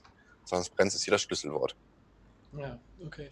Ja, Transparenz zieht sich so ein bisschen als äh, Stichwort auch bei mir, so im Hintergrund äh, durch den ganzen Vormittag schon. Ähm, glaubst du, dass man äh, durch Methoden, die sozusagen die Bildentstehung oder die Bildquellen oder die Angabe von äh, äh Bildquellen ähm, mehr Transparenz herstellen könnte und glaubst du, dass dadurch mehr Vertrauen in Bilder äh, generiert werden könnte? Oder, es ist natürlich ein bisschen suggestiv gefragt, oder würdest du sagen, es, es ist im Zweifelsfall immer das Gesamtpaket, was es äh, ausmacht, also die Kombination aus Text und Bild und Kontext mhm. und äh, Blogs, weil hier steht, mhm. gibt es zum Beispiel die Frage, wie ist das mit den Blogs, die Fake News teilen? Die haben ja oft eins zu eins dieselben Texte und Bilder. Ja, die haben oft dieselben Texte und Bilder, weil sie eins zu eins auch voneinander abschreiben. Das ist auch wieder dieser, dieser Bestätigungszirkel. Ähm, wenn dann äh, mit dem Argument kommt, ja, aber äh, liefern wir doch mal die, die, die Quellen dazu, dann äh, findet man in diesem Artikel, der da irgendwie geteilt wird, zwar jede Menge Quellen äh, und jede Menge Hinweise, aber die sind im Prinzip das gleiche in grün, weil es der gleiche Text mit den gleichen Bildern auf einem anderen Blog ist. Und wenn man dann anguckt, was die sonst noch so äh, für Artikel haben, dann findet man diese äh, Schnittmenge eigentlich in allen Bereichen, weil die einfach alle nur voneinander abschreiben oder häufig einfach äh, Inhalte sich auf die gleiche Quelle äh, beziehen. Ähm, viele verschwörungsideologische Geschichten sind vielleicht eins zu eins Google übersetzt aus dem äh, Englischen und äh, finden sich dann in der englischen Übersetzung dann auf wieder zehn ungefähr gleich aussehenden Seiten. Aber ähm, nichts von denen findet sich mal in irgendeiner öffentlichen äh, Publikation oder findet sich in irgendeinem wissenschaftlichen Portal, wenn da irgendwelche Ergebnisse von Studien äh, bemüht werden oder äh, damit argumentiert wird, Studien haben äh, in den USA herausgefunden, das und dann kommt irgendeine toll klingende Erklärung. Aber wenn man dann irgendwelche sämtliche wissenschaftlichen Portale absucht und wirklich zu diesem Thema überhaupt nichts veröffentlicht wurde, schon gar nicht in den USA, dann fragt man sich, woher die ihre Informationen haben. Und dann findet man nur immer wieder letztendlich, oh, wenn man Glück hat, den Ursprungsartikel, wo das ursprünglich mal geteilt wurde und äh, alle anderen haben seitdem nur abgeschrieben und dann verläuft sich die Spur, was das angeht. Hm. Gibt es bei euch eine, ähm, also wir haben natürlich den Informationen und den Live-Vorträge äh, und die, äh, die Folien nachher im Netz zur Verfügung. Aber gibt es bei euch eine Handreichung, in der diese Quellen auch nochmal aufgeführt sind? Oder ähm, kann man sich da sozusagen nochmal im Einzelnen vertieft schauen machen bei euch? Ja, durchaus. Also wir haben auf unserer äh, Webseite erhält man unsere Broschüre, also in Zukunft auch mehr Broschüren. Also bis jetzt sind es auch zwei Broschüren, nämlich einmal zum Thema Reichsbürger, unser Reichsbürgerleitfaden, der wird auch demnächst nochmal neu aufgelegt. Und dann gibt es eine Broschüre über Verschwörungstheorien und Fake News erkennen und die Banken, die im Prinzip äh, das nochmal zusammenfassen, was wir auch in dem Vortrag hier gemacht haben. Sie äh, erklären, äh, warum Menschen an äh, so etwas glauben. Sie erklären was über das Faktenchecken und äh, sie geben auch Tipps mit an die Hand, wie man mit Leuten reden kann, die ähm, in so einem Verschwörungsglauben drinstecken, ähm, wie man die vielleicht abholen kann, ohne direkt ähm, halt auf Konfrontationskurs gehen zu müssen und da im Prinzip nichts zu erreichen. Und die erhält man über unsere Webseite. Link ist auch nochmal in der Videobeschreibung. Die kann man bestellen zum äh, Versandkostenpreis oder einfach als PDF runterladen. Top. Vielen Dank, Rüdiger Reinhardt. Äh, Gerne. Wir haben jetzt ähm, noch viele natürlich ähm, Kommentare, die ich jetzt in, in Fragen gießen könnte. Es gibt bestimmt auch noch von den Kolleginnen und Kollegen, die ja im Hintergrund mit aktiv sind und mitmoderieren, Fragen, die sie ähm, stellen wollen. Hast du noch persönliche, sagen wir mal, Wünsche oder vielleicht mit äh, Julia, die können wir auch gerne nochmal mit dazu nehmen und ähm, sagen wir mal eine Perspektive auf das, was eure Arbeit am besten auszeichnen sollte oder was, was sie bewirken sollte in den nächsten, ich würde mal sagen, fünf Jahren mit also der Wahl von oder nicht Wiederwahl in Amerika und den, sagen wir mal, globalen Perspektiven und der wackeligen Weltlage. Was ist sozusagen das, was ist euer kühnster Wunsch, ja, das eure Arbeit auslösen soll? Also ich sage mal so, ähm, ich persönlich würde mir wünschen, dass in ein paar Jahren äh, irgendwann unsere Arbeit nicht mehr nötig ist, weil jeder selbst irgendwie das äh, Handwerkszeug an der Hand hat, um genau das zu machen, was wir jetzt hier gerade in solchen Sachen, in solchen Vorträgen und, und Workshops vermitteln wollen. Nämlich, äh, das ist nämlich die Sache, was eben in dem Chat, und das ist mir auch ganz wichtig, äh, ich habe da viele Kommentare gelesen, ähm, niemand entscheidet, was eine äh, Verschwörungstheorie ist. Äh, niemand hat eine gewisse Autorität und sagt, das sind Fakten. So, ähm, natürlich gibt es irgendjemanden, der halt es bewertet, der sagt letztendlich, ja, das ist, das ist wissenschaftlich gesichert, das ist, das kann man so stehen lassen oder das ist Blödsinn, weil das ist widerlegt, das widerspricht den Naturgesetzen oder das ist offensichtlich falsch. Aber die alle haben eines gemeinsam, man kann es nämlich belegen. Man kann nach diesen Belegen suchen und man muss vielleicht in manchen Bereichen halt, wie jetzt, wenn es um medizinische Sachen, um das Virus jetzt geht, muss man natürlich, um Sachen wirklich letztendlich beurteilen zu können, wirklich Experte sein. Und da reicht ein ähm, Küchentisch-Virologe nicht aus. Da ähm, muss man schon irgendwie halt ähm, in einer gewissen Position halt in der Forschungswelt auch äh, akzeptiert sein und äh, da gibt es auch eine, eine, Möglichkeit, das irgendwie halt zu gucken, wie, wie oft oder wie viel publiziert ein äh, äh, Forscher, wie oft wird er zitiert. Es gibt schon Anhaltspunkte, Sachen bewerten zu können und ähm, da ist es halt, wenn wir erreichen können, dass in ein paar Jahren solche Gedankengänge, wie Leute was prüfen, äh, selbstverständlich sind, äh, dass niemand mehr irgendwie herkommen muss und sagen, äh, das ist Blödsinn, weil einfach Blödsinn von sich selbst aus keinen Bestand mehr haben kann, weil alle Leute selber nachdenken und zwar wirklich nachdenken. Ich glaube, das ist ein bisschen weit hingedacht, aber ich äh, hoffe, dass wir irgendwann dahin kommen werden. Und ähm, ja, das wäre so mein Wunsch irgendwie halt. Hilfe zur Selbsthilfe und äh, das halt weitergeben. Leute, prüft alles. Ja. Vielen Dank. Wir gehen jetzt in die Pause. Wir danken auch nochmal ganz herzlich allen Beteiligten im Chat und allen Einsendungen über presse.dri-heidelberg.de. Wir sind noch weiter für Sie da. Der Livestream bleibt stehen. Es ist der gleiche Link. Ihr könnt also einfach angeschaltet lassen oder nachher wieder einschalten.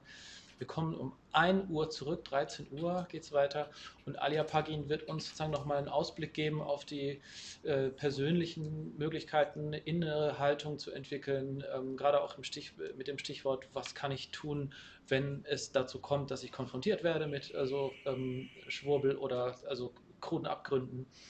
Und äh, ich glaube, viele von uns teilen diese Erfahrung und sind so ein bisschen machtlos und wissen irgendwie nicht so genau, wie kann ich darauf reagieren? Muss ich darauf reagieren? Soll ich einfach nur die Frage stellen, warum glaubst du das? Warum will ich mich überhaupt sozusagen so tief darauf einlassen?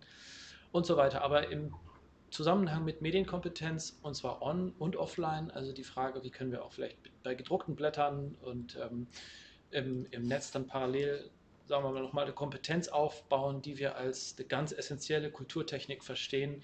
Das heißt also das Internet verstehen sozusagen, auch Wirkungsweisen und Funktionsweisen von Algorithmen und Technik ähm, zu verstehen, aber auch den Presse-Selbstverständnis äh, von professioneller journalistischer Arbeit.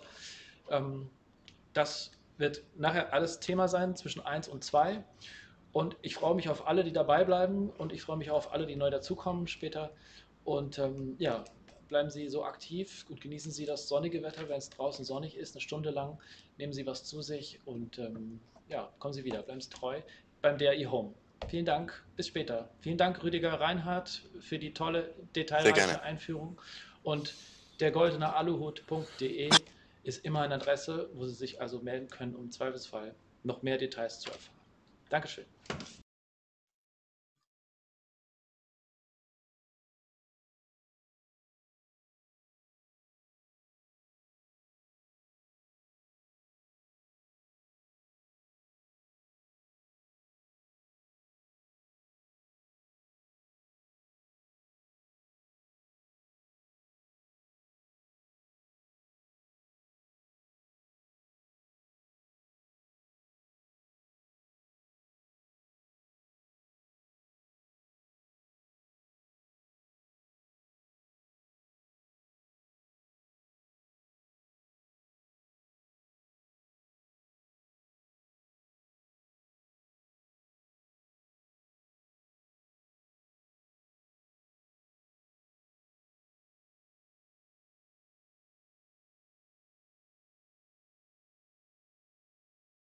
Alles klar, Ton müsste bei mir jetzt auch da sein.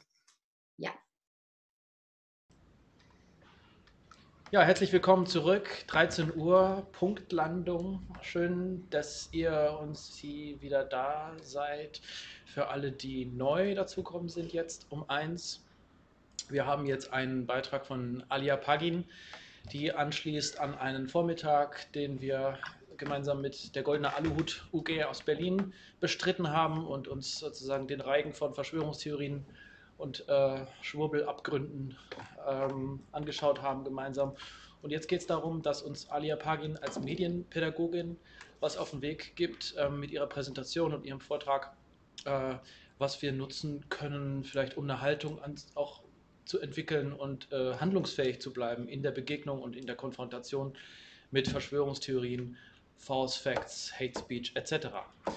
Ähm, also ich begrüße ganz herzlich, wir schalten gleich um nach Frankfurt, glaube ich, ist sie. Äh, und ähm, herzlich willkommen, Alia Pagin, in unserer heute DAI Home Veranstaltung in Kooperation mit der GEW aus dem Saal, aus dem großen Saal des Deutsch-Amerikanischen Instituts in Heidelberg. Viel Spaß und ich freue mich auf lebendige Unterhaltung im Chat. Ich freue mich auch über Fragen und Nachrichten an presse.dai-heidelberg.de. Die findet ihr auch unten im Kommentar und meine Kollegin Sarah, die uns an der Regie unterstützt und technisch wird das Forum mit moderieren und da auch weitere Informationen reinschmeißen, die uns gefallen oder nicht gefallen oder auch die wir brauchen und so. Ich will an dieser Stelle ähm, darauf hinweisen, dass wir natürlich ähm, uns an alle Regeln der ähm, also des gesunden Menschenverstands und der vornehmen Gesprächsführung und Unterhaltung im Chat halten und uns im Zweifelsfall das Recht vorbehalten, einzelne Stimmen, die uns ähm, stören, zu ähm, muten oder auch ganz aus dem Chat zu entfernen. Deswegen, wir freuen uns über konstruktive, sachliche Debatten und äh, das Video wird auch im Nachhinein online sein, online bleiben. Das heißt, das kann weitergehen, die Diskussion. Und ähm, ja, Alia Pagin, du hast das Wort. Schön, dass du da bist. Ja, vielen Dank für die Einladung. Ich freue mich sehr und habe wieder eine Menge gelernt im Laufe des Vormittags. Man lernt ja nie aus, auch über den Chat übrigens, aber da werde ich gleich nochmal im Laufe meines Vortrags eingehen. Ähm, ich möchte gleich voranschicken, ich teile meinen Bildschirm mit euch, ähm, dass das ein sehr, sehr, sehr großes Thema ist für eine sehr, sehr begrenzte Zeit. Deswegen einfach nur der Hinweis, das ist jetzt quasi so eine Art äh, Crashkurs, den ich hier veranstalten werde. Ich freue mich über Fragen, Anmerkungen und wie schon gesagt, konstruktive Kritik. Und äh, nach dem Vortrag werden wir auch nochmal für Fragen direkt ähm, zur Verfügung stehen. Deswegen, without further ado, werde ich jetzt euch mitnehmen in ähm, eine, ja, in ein, ein kleines, ähm, ich will euch quasi geistig mitnehmen in die Überlegung, wie hängen eigentlich äh, Verschwörungserzählungen, Fake News und Hate Speech zusammen und wie arbeite ich konkret als Medienpädagogin dazu im Bildungsbereich, vor allem mit Kindern und Jugendlichen, die wir in dieser ganzen Debatte nicht aussparen sollten, aus unterschiedlichen Gründen. Deswegen erstmal ganz vorangestellt nach all dem, was wir heute an ähm, an Fakten schon von Julia und Rüdiger gehört haben. Ähm, was hat das Ganze mit jeglichen Formen von Extremismus, Neonazismus und Populismus zu tun? Ich muss ganz deutlich voranstellen, dass ich mich da auf den Bereich Rechtsextremismus spezialisiert habe, weil ähm, sehr viele gezielte Falschmeldungen oftmals ähm, ganz klar mit gruppenbezogener Menschenfeindlichkeit zu tun haben. Das ist der soziologische Begriff dafür, für alles, was mit Herabwürdigung und Diskriminierung zu tun hat. Und ich erkläre auch gerne, warum. Eigentlich haben es äh, Julia und Rüdiger ja schon herausgestellt. Ich wiederhole es gerne nochmal. Es geht letztendlich immer darum oder meistens darum, ähm, eine Gruppe von Menschen für irgendetwas verantwortlich zu machen. Und das spielt natürlich sehr stark rein in ähm, Stereotype, die da sehr, sehr häufig herangezogen werden und was letztendlich ja dann in Vorurteilen resultiert und die wiederum ähm, maßgeblich dafür verantwortlich sind, äh, tatsächlich nicht ähm, individuell zu bewerten, sondern sehr schnell in Kategorien zu denken. Äh, Julia hat es auch schon herausgestellt. Äh, in, äh, übergeordnet kann man immer sagen, dass ähm, alles, was mit Verschwörungserzählungen zu tun hat oder ähm, ja, wenn man auf diese Diskurse eingeht, dann ist es eben meistens identitätsstiftend. Es geht oft darum, etwas zu wissen, was sonst keiner weiß. Das größte Problem, was ich damit äh, habe, ist tatsächlich, wo bleibt die zivilgesellschaftliche Verantwortung? Also wenn ohnehin alles vorgegeben ist und quasi wenige Menschen, egal in welcher Konstellation, ähm, ein einen Plan durchführen, von dem wir ähm, Sheeples, äh, Schlafschafe alle nichts wissen, was wäre dann noch ein Grund für mich als mündige Bürgerin wählen zu gehen oder ähm, etwas zu recherchieren oder meine Stimme in der Öffentlichkeit zu erheben? Also das ist tatsächlich die größte Herausforderung. Und es gibt natürlich einen klaren Nachweis leider mittlerweile darüber, inwieweit diese ähm, Ideen ähm, und Diskurse dazu führen können, dass äh, Menschen, die so etwas glauben oder diesen ähm, äh, Vorurteilen anheimfallen, dann tatsächlich losziehen und ähm, Gewalt ausüben. Wir haben das jetzt in den letzten Monaten leider sehr deutlich nochmal wahrnehmen müssen über den Vorfall oder das Attentat in Christchurch, in Halle und in Hanau. Also das nur ganz übergeordnet, warum das tatsächlich ein, eine große Gefährdung auch für demokratische Prozesse letztendlich ist. Ähm, ich, mir ist es ganz wichtig, nochmal voranzustellen, wie können wir eigentlich unterscheiden zwischen radikal, extremistisch, neonazistisch und populistisch, weil das alles Begrifflichkeiten sind, die spätestens mit der Wahl äh, von äh, Donald Trump ähm, sehr häufig durcheinander geworfen werden. Und da gibt es zumindest in Deutschland ähm, im Bundesamt für Verfassungsschutz eine ganz klare Definition, nämlich dass radikale politische Auffassungen natürlich ihren legitimen Platz in einer pluralistischen Gesellschaft haben, extremistische Bestrebungen dagegen sich immer gegen den Kern unserer freiheitlich-demokratischen Grundordnung richten. Da ist schon ein, eine, eine ganz wichtige Unterscheidung zu treffen. Natürlich haben wir Meinungsfreiheit ähm, oder sollen wir sogar äh, uns durchaus auch radikal äußern zu allen möglichen Vorgängen, äh, Beobachtungen und so weiter. Aber extremistische Bestrebungen sind dann strafrechtlich relevant. Und deswegen möchte ich da gerne nochmal drauf eingehen, weil es ja auch um die Frage geht, wie verhalten wir uns gegenüber solchen Diskursen, die wir vielleicht in unserem direkten Umfeld oder im Internet erleben. Bei Neonazis ist es klar, mehr oder weniger hoffe ich zumindest, Bekenntnis zur Ideologie des Nationalsozialismus. Und beim Populismus, Kindern tatsächlich, ähm, erkläre ich das schon ähm, anhand des Beispiels, sehr, sehr komplizierte Zusammenhänge oder sehr komplexe Zusammenhänge werden sehr vereinfacht dargestellt. Nur, dass wir nochmal ein Gespür dafür bekommen, über welche Formen von Diskursen wir eigentlich reden und wann wir tatsächlich ähm, äh, mit Zivilcourage dagegen auch reagieren müssen ähm, Hassrede, sogenanntes Hate Speech. Ähm, es gibt keine feste Definition. Im Moment ist die Politik äh, verzweifelt dabei, Gott sei Dank, ähm, da vielleicht sogar Gesetze dazu zu entwerfen.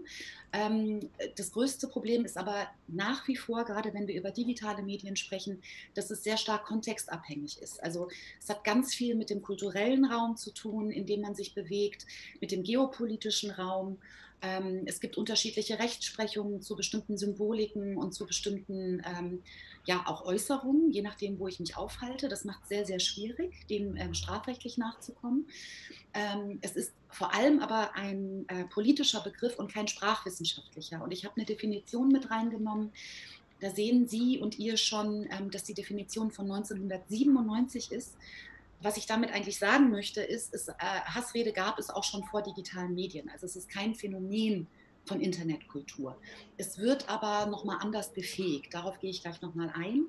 Die Definition vom Ministerkomitee des Europarats von 1997 ist, es sind alle Ausdrucksformen, die Rassismus, Fremdenfeindlichkeit, Antisemitismus oder andere Formen auf Intoleranz beruhendem Hass äh, verbreiten, dazu anstiften, sie fördern oder rechtfertigen, einschließlich von Intoleranz, die sich in aggressivem Nationalismus und Ethnozentrismus, der Diskriminierung und Feindseligkeit gegenüber Minderheiten, Migrantinnen und Menschen mit Migrationshintergrund äußert.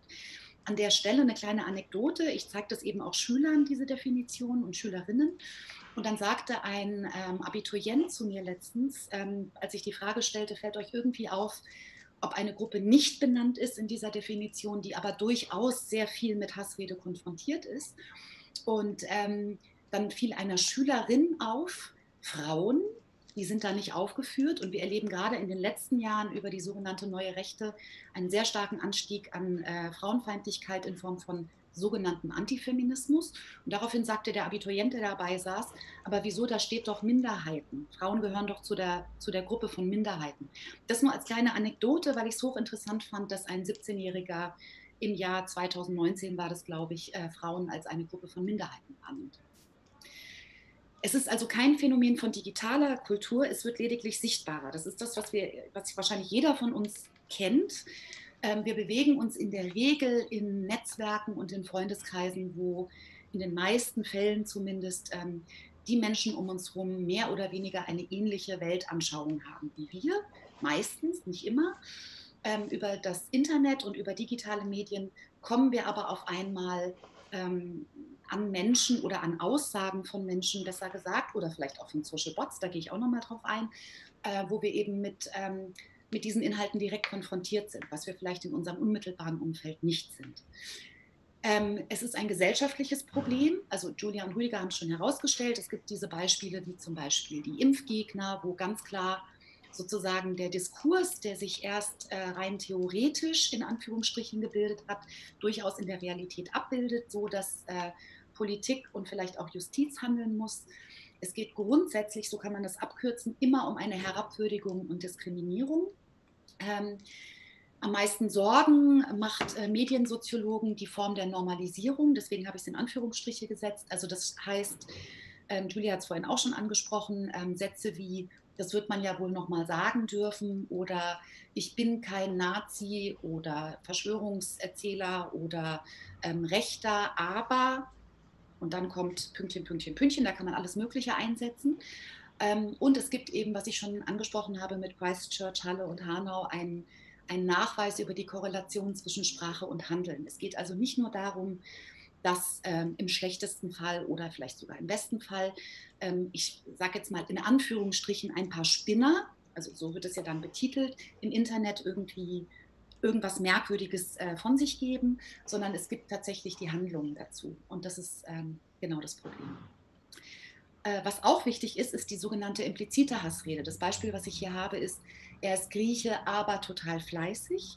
Äh, mit den Kids arbeite ich oft zu dem Thema, indem ich sie frage, welche ähm, Vorurteile sie kennen. Da kommen dann äh, Beispiele, so ganz klassische Beispiele irgendwie wie, äh, weiß ich nicht, äh, äh, Frauen können nicht Auto fahren, Männer können nicht kochen, also sehr niedrigschwellig.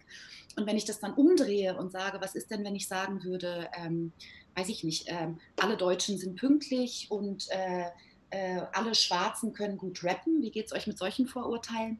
Das wird nicht so schnell in das negativ konnotierte eingeordnet. Das heißt also, ähm, es ist wichtig darüber zu sprechen, dass sowohl positive als auch negativ konnotierte Vorurteile immer sozusagen darauf abzielen, eine Gruppe von Menschen für irgendetwas verantwortlich zu machen. In dem Fall ist es der Grieche, von dem angeblich ähm, angenommen wird, dass er grundsätzlich nicht gerne arbeitet und deswegen wird herausgestellt, dass er ähm, obwohl er Grieche ist, total fleißig ist.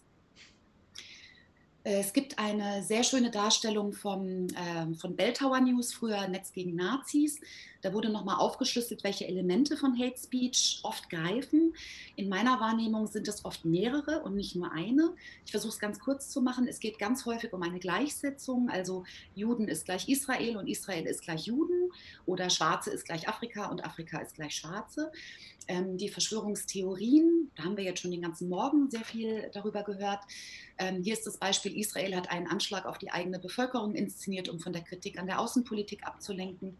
Bei den Jugendlichen höre ich sehr, sehr häufig, seit Jahren übrigens, ähm, der 11. September ähm, ist von den Amerikanern selbst inszeniert worden oder ähm, äh, das, es, an dem Tag gab es keine Juden in den World Trade Centern. Also das sind so die Diskurse, die mir im schulischen Raum sehr stark auffallen. Es geht häufig um eine Derealisierung, also eine verzerrte, realitätsabgehobene Konzeptualisierung durch Ausblendung von Fakten und in Form von Falschaussagen. Hier ist das Beispiel, alle Politiker hassen Deutschland. Und an der Stelle versuche ich schon jüngeren Kindern zu erklären, in dem Moment, wo jemand alle formuliert, und es ist vollkommen egal, ähm, wer alle, ob das alle Schülerinnen sind, alle Lehrkräfte, alle Medienpädagogen, alle Leute, die in Bildungseinrichtungen arbeiten oder alle Deutsche oder alle Ausländer. Es ist vollkommen egal. Diese Form der Verallgemeinerung ist eigentlich schon die Vorstufe zu allem, was eben mit Herabwürdigung und letztendlich Diskriminierung zu tun hat. Das heißt, da müssen schon alle Antennen rausgefahren werden ähm, und zumindest kritisch nachgefragt werden, was oder wer mit alle gemeint ist. Dann gibt es die Gegenüberstellung von wir und ihr Gruppen und das Konstruieren eines Handlungszwangs. Das hat Julia vorhin auch schon herausgestellt. Das Beispiel hier ist, wenn wir uns von denen weiter auf der Nase herumtanzen lassen, werden wir alle sterben. Also wir und die ist, ist ganz häufig der Fall.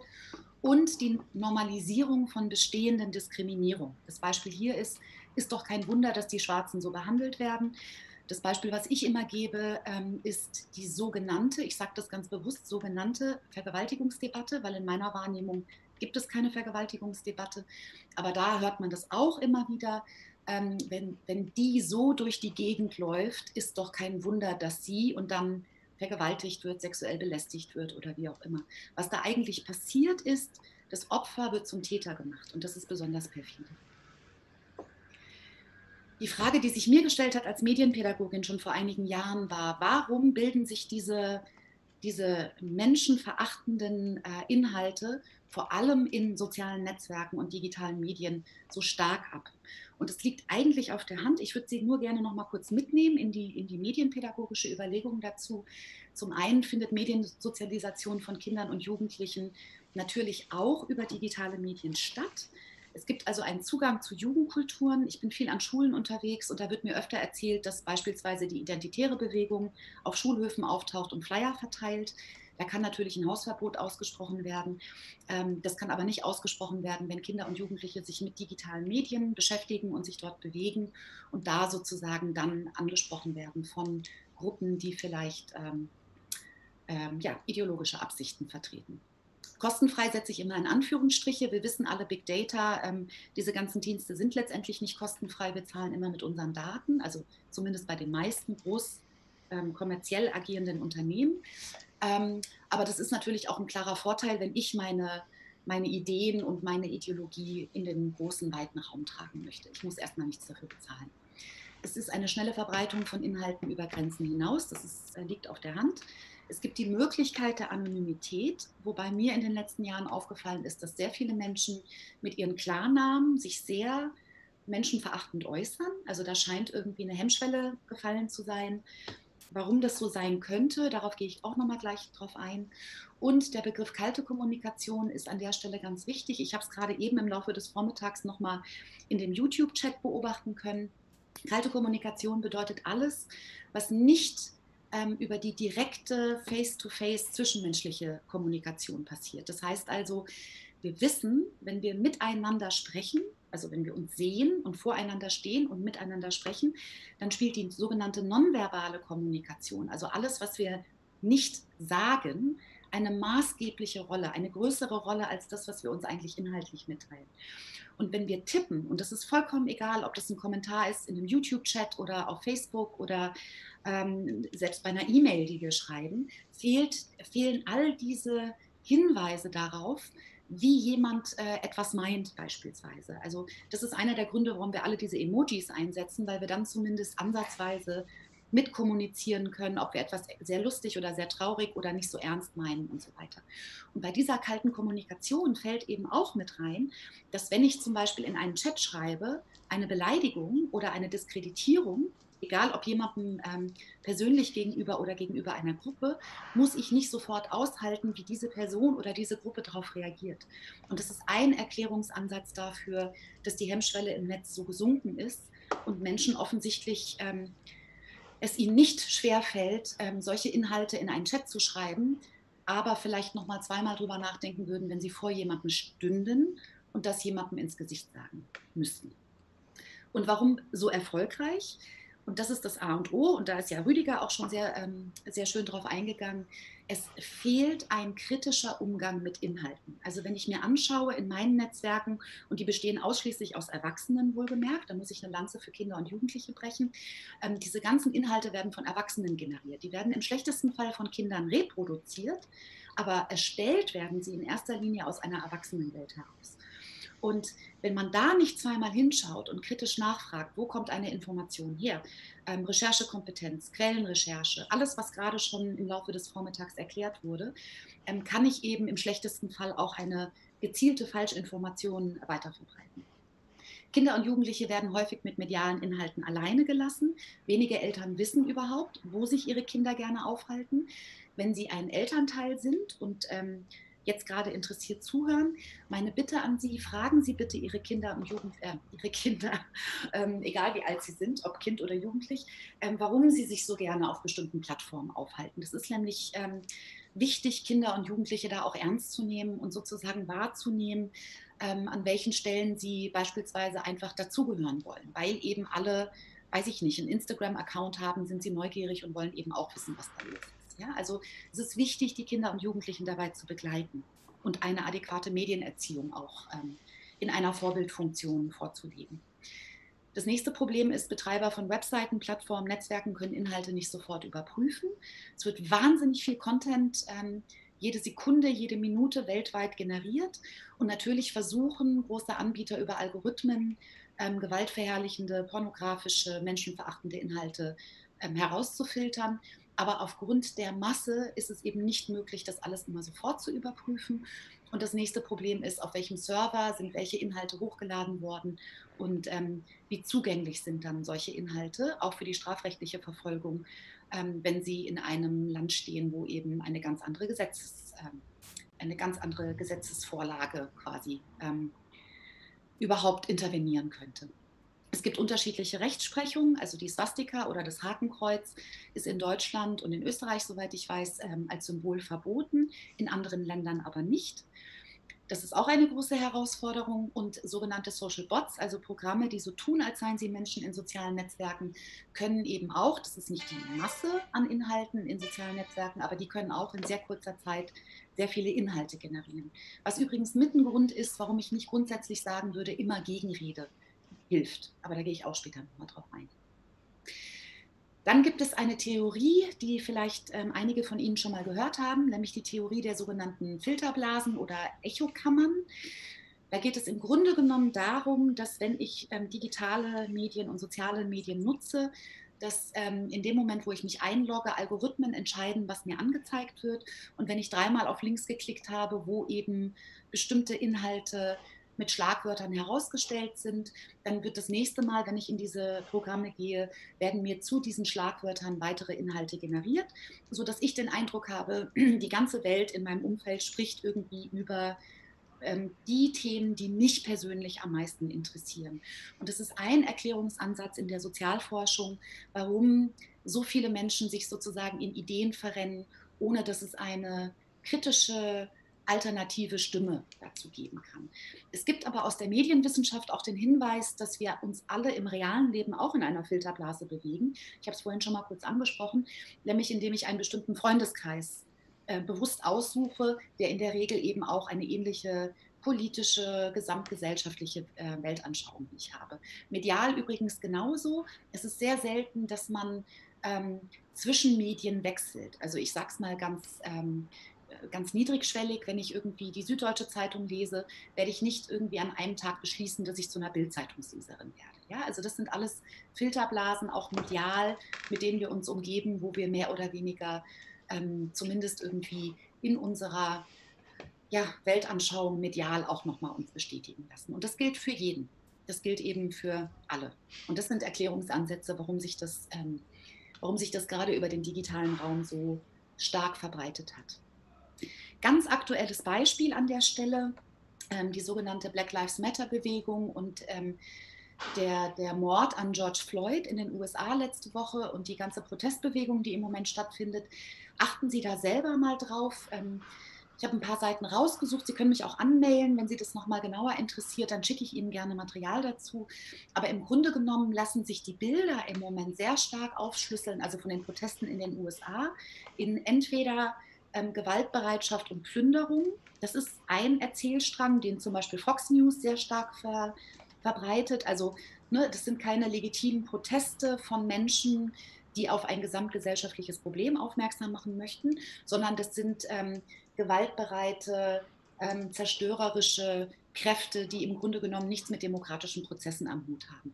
Und das steht sehr stark entgegen medialer Berichterstattung, wo beispielsweise in den letzten Tagen sehr viele Bilder veröffentlicht wurden, dass ähm, einige Polizisten der amerikanischen Polizei sich beispielsweise mit den Demonstrierenden solidarisiert hat oder ähm, die ganzen, also die, die Mehrheit an Protesten, die absolut friedfertig und ohne Gewalt und ähm, sehr leise und sehr ähm, ja, politisch gerechtfertigt äh, einfach gegen einen gesellschaftlichen Missstand und politischen Missstand aufmerksam machen. Also das als ganz aktuelles Beispiel, wie sich diese Filterblasen generieren können. Je nachdem, welche Medien ich nutze, bekomme ich unterschiedliche Eindrücke von, von ähm, ein und derselben Veranstaltung im schlechtesten Fall.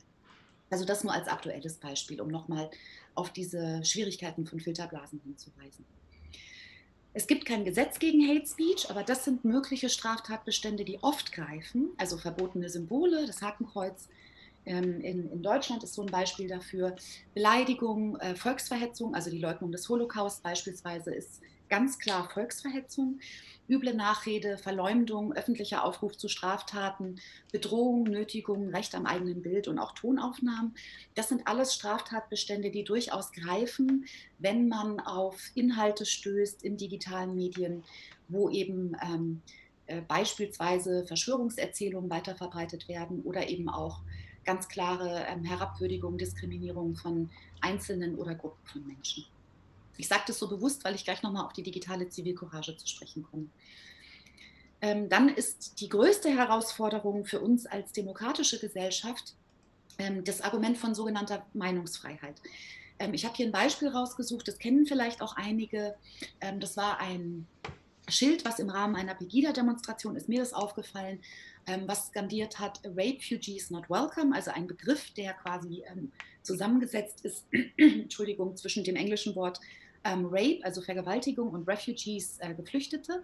Und dieses erfundene Wort, also im Grunde genommen sowas wie ähm, Geflüchtete, die vergewaltigen, sind nicht willkommen, ist ähm, zu einer Anzeige gebracht worden. Und tatsächlich hat die Staatsanwaltschaft in Leipzig bekannt gegeben, dass die Ermittlungen eingestellt werden, weil genau dieser Ausspruch unter die ähm, unter die freie Meinungsäußerung in Deutschland fällt und nicht unter sogenannte Hassrede. Und ich finde es an der Stelle auch wichtig, nochmal herauszustellen, ähm, die Argumentation von, ähm, ich glaube auch, ähm, ich glaube, Höcke hatte das auch auf dem T-Shirt, war tatsächlich, die Übersetzung ist nicht Geflüchtete ähm, vergewaltigen und sind deswegen nicht bekommen, äh, nicht, Entschuldigung, nicht willkommen, sondern die Auslegung war, Geflüchtete, die vergewaltigen, sind nicht willkommen. Und damit fällt es unter freie Meinungsäußerung. Und das will ich nochmal ganz klar herausstellen, weil die freie Meinungsäußerung das wichtigste Gut ist, was wir in einer demokratischen Gesellschaft besitzen. Neben natürlich die Würde des Menschen ist unangreifbar. Und, ähm, und wenn es quasi zwei Auslegungsmöglichkeiten ähm, gibt, ist es umso wichtiger, nochmal darauf hinzuweisen, dass es eben diese Instanz gibt von der Justiz, die eben ganz klar sagt, Meinungsfreiheit ist da wichtiger als eben, ähm, ich sage jetzt mal in Anführungsstrichen, Befindlichkeiten von Menschen, die das anders interpretieren. Pädagogisch heißt es noch lange nicht, dass wir das so stehen lassen können. Ja, es ist wichtig, darüber ins Gespräch zu gehen, was eine solche Aussage im schlechtesten Fall mit Menschen macht, die ohnehin irgendwo schon mal gehört haben, dass Geflüchtete beispielsweise besonders häufig vergewaltigen, was übrigens in keiner Untersuchung dazu jemals belegt wurde. Aber deswegen ist es so wichtig, eben herauszustellen, es geht nicht nur um strafrechtlich relevante Bereiche, sondern eben auch um freie Meinungsäußerung. Nochmal, die wahnsinnig wichtig ist, aber pädagogisch, und wir reden hier über den Bildungsbereich, müssen wir über solche Aussprüche ins Gespräch kommen, um Kinder und Jugendliche nicht mit solchen Ideen alleine zu lassen. Und viele Erwachsene wahrscheinlich auch nicht. Das überspringe ich jetzt mal aufgrund der kurzen Zeit. Ich würde jetzt gerne noch ein Beispiel geben, wie man sozusagen gezielte Falschinformationen und eben auch oft, ähm, das geht oft in den boulevardesken Bereich, wie Julia auch schon rausgestellt hat. Ja, also da gibt es, ich habe es im Chat vorhin auch gesehen, da wurde ganz oft von den Medien gesprochen. Das ist genau das, was ich am Anfang meinte mit alle. Es ist auch vollkommen ähm, illegitim, von allen Medien zu sprechen, weil die gibt es so nicht. Ja? Also wenn, dann muss man genau hinschauen, über welche medialen Formen wir sprechen. Und wenn es um große äh, Medienangebote geht und zum Beispiel Tageszeitungen, gibt es einen signifikanten Unterschied, ob ich die Bildzeitung lese oder beispielsweise die FAZ. Ganz klar. Und mit Kindern arbeite ich immer zu dem Thema so, dass ich nochmal herausstelle, ihr solltet zumindest vorsichtig sein, wenn folgende Aspekte von euch wahrgenommen werden. Reißerische Titel, aufgeregte emotionale Sprache, fehlende Quellenangaben für behauptete Fakten, was Rüdiger auch schon herausgestellt hat. Text oder Videos wird erst, im, äh, wird erst nach Weiterklicken angezeigt. Da geht es oft um Klicks, Clickbaits, ne? wenn ich irgendwie umgeleitet werde auf eine Seite, die im, ähm, in den meisten Fällen tatsächlich kommerziell agiert und dementsprechend einfach für Werbeanzeigen nachweisen muss, dass sie besonders viele Klicks generiert haben. Ähm, Kampfbegriffe wie Lügenpresse werden verwendet, das kennen wir auch alle aus einem bestimmten Diskurs. Offensive, schockierende Fotos oder Teaser zu solchen Fotos. An der Stelle nur der Hinweis, das sprengt jetzt den Rahmen, aber das ist medienpädagogisch und medienwissenschaftlich auch sehr wichtig. Ähm, wo, wo fängt sozusagen die Würde eines Menschen an, diskreditiert zu werden über die visuelle Kommunikation? Also äh, mich hat es sehr irritiert, dass die letzten Tage eben diese Nahaufnahmen von dem, von dem Mord an George Floyd so wahnsinnig oft reproduziert wurden. Ich kann verstehen, dass ähm, über ein solches Foto oder über, eine solch, äh, über ein solches Video viel schneller emotionalisiert wird. Genauso arbeiten Boulevardmedien. Aber dennoch muss ich darauf hinweisen, dass wir in dem Moment dabei zugucken, wie ein Mensch umgebracht wird. Und wir reden nochmal über den Bildungsbereich. Das heißt, wir reden auch über Kinder und Jugendliche, die natürlich solche Bilder zu sehen bekommen. Und da müssen wir wahnsinnig aufpassen, dass wir nicht im schlechtesten Fall, ein Kollege von mir hat das Gewaltpornografie genannt, ja, dass wir sozusagen Gewalt so oft reproduzieren, dass sie im schlechtesten Fall abstumpft und wir irgendwann überhaupt nicht mehr emotional darauf reagieren. Ähm, Verschwörungstheorien oder Erzählungen werden als Tatsachen verbreitet. Das habe ich aus dem Standard, das hat er vor ein paar Jahren schon zu dem Thema Fake News veröffentlicht. Ich habe das noch ergänzt um Vorsicht, wenn beispielsweise bei Headlines ein Fragezeichen oder ein Ausrufezeichen gesetzt wird, das ist meistens sehr problematisch. Ein berühmtes Beispiel ist, die Bild-Zeitung hat im Spätsommer 2015 mit einem riesengroßen Foto von Angela Merkel die Frage gestellt, lügt Merkel? Fragezeichen. Ist auch gerügt worden für die Berichterstattung und hat dann argumentiert, ähm, wir haben nicht gesagt, dass Frau Merkel lügt, wir haben die Frage gestellt, ob Frau Merkel lügt. Was es emotional macht, ist eigentlich relativ klar. Und ergänzend dazu noch, was ich vorhin schon sagte, Pauschalisierung gegen gesellschaftliche Gruppen, Religionen, ethnische Gruppen, Nationen. Man kann das beliebig weiterführen. Es gibt übrigens auch Altersdiskriminierung, es gibt Bildungsdiskriminierung. Ja? Also alles, was sozusagen grundsätzlich von allen spricht, also sämtliche Formen von Pauschalisierung. Bitte, bitte immer vorsichtig sein. Und genau diese Regeln zeige ich eben Kindern und Jugendlichen. Und dann, um so ein medienpädagogisches Beispiel zu geben, ähm, bitte ich diese Kinder und Jugendlichen, ihr dürft jetzt selber Fake News machen. Und es hat einen großartigen Effekt. Die Kinder sind wahnsinnig fit, was das angeht. Also die verstehen in einer sehr kurzen Zeit was sie sozusagen berücksichtigen müssen, um die Aufmerksamkeit für eine bestimmte Meldung zu generieren. Und das hier ist ein Beispiel aus einem siebten Jahrgang eines, äh, einer Frankfurter Schule. Und ich war begeistert. Der Schulleiter war ziemlich schockiert, um das mal äh, deutlich zu sagen. Der hat nicht damit gerechnet, dass die in der siebten Klasse sich schon mit solchen Themen auseinandersetzen. Ich zitiere ihn. Und da haben sie eben eingehalten, was für Regeln an ähm, sozusagen passt auf, wenn ihr folgende ähm, Informationen irgendwo wahrnehmt, egal ob in, in, äh, in klassischen Massenmedien oder eben im Internet. Und das ist ein schönes Beispiel, dass Sie sofort verstanden haben, wie das funktioniert. Die Überschrift ist, jeder dritte Fünftklässler in Frankfurt nimmt Drogen, Ausrufezeichen. Drunter in kleinerer Schrift, wie man hier sieht, gibt es einen Fotobeweis wunderbares Foto, was sie da irgendwie ähm, entweder selbst gemacht haben oder generiert haben aus dem Netz. Dann unter dem Bild Lehrer Doppelpunkt Zitat, auf einmal schreiben die Kinder bessere Noten, aber kommen stinkend und mit roten Augen in die Schule. Chantal, zehn Jahre, ich fühle mich sehr gut. Und dann drunter der, der Textabschnitt, wollen Sie, dass Joints in Frankfurt legalisiert werden? Dann spenden Sie an unsere Webseite www.legale-joints.de 10 Euro oder spenden Sie hier www.kindern-helfen.de, wenn Sie bedürftigen Kindern helfen wollen. Wir nehmen Spenden ab 10 Euro an. Die haben in kürzester Zeit, mein Input war vielleicht 30 Minuten max, haben die verstanden, wie das funktioniert. Und wenn man selber ähm, sozusagen selber mal medienaktiv geworden ist und verstanden hat, wie einfach es ist, Leute emotional oder eben mit ihrer Aufmerksamkeit zu bekommen, dann hat man automatisch in der passiven, äh, im passiven Medienkonsum einen anderen Zugang. Das heißt, das ist einfach ein schönes Beispiel dafür, wie man mit ähm, Kindern und Jugendlichen sowas sehr schnell dekonstruieren kann. Auch noch ein schönes Beispiel, ich muss nicht viel dazu sagen, haben Sie wunderbar beobachtet, was für Bilder zu einem Treffen mit äh, Merkel und Macron vor einigen Jahren kursiert sind. Alles richtig gemacht, Merkel und Macron, lieber auf den ersten Blick. Am 17.11.2017 wurde dieses mysteriöse, da fängt schon an, Foto aufgenommen, auf dem die deutsche Politikerin Merkel mit dem französischen Präsidenten Macron offensichtlich sehr vertraut wirkt. Haben die beiden eine Affäre? Fragezeichen. Seehofer meint, bei denen hat es gefunkt. Siebter Jahrgang, so viel zu dem der apolitischen Generation, die irgendwie nichts mitbekommt. Das kann man in keinster Weise halten. To-Dos. Was können wir tun, was sollten wir tun und was sind sozusagen Lösungsansätze?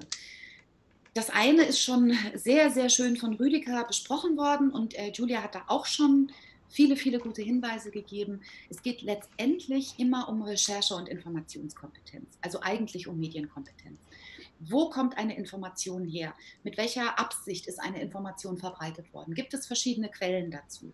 Gibt es eine einzige Quelle, die ständig reproduziert wird? Das gleiche gilt für visuelle Kommunikation, nicht für Text, genau wie Rüdiger das wunderbar schon angeleitet hat. Ja?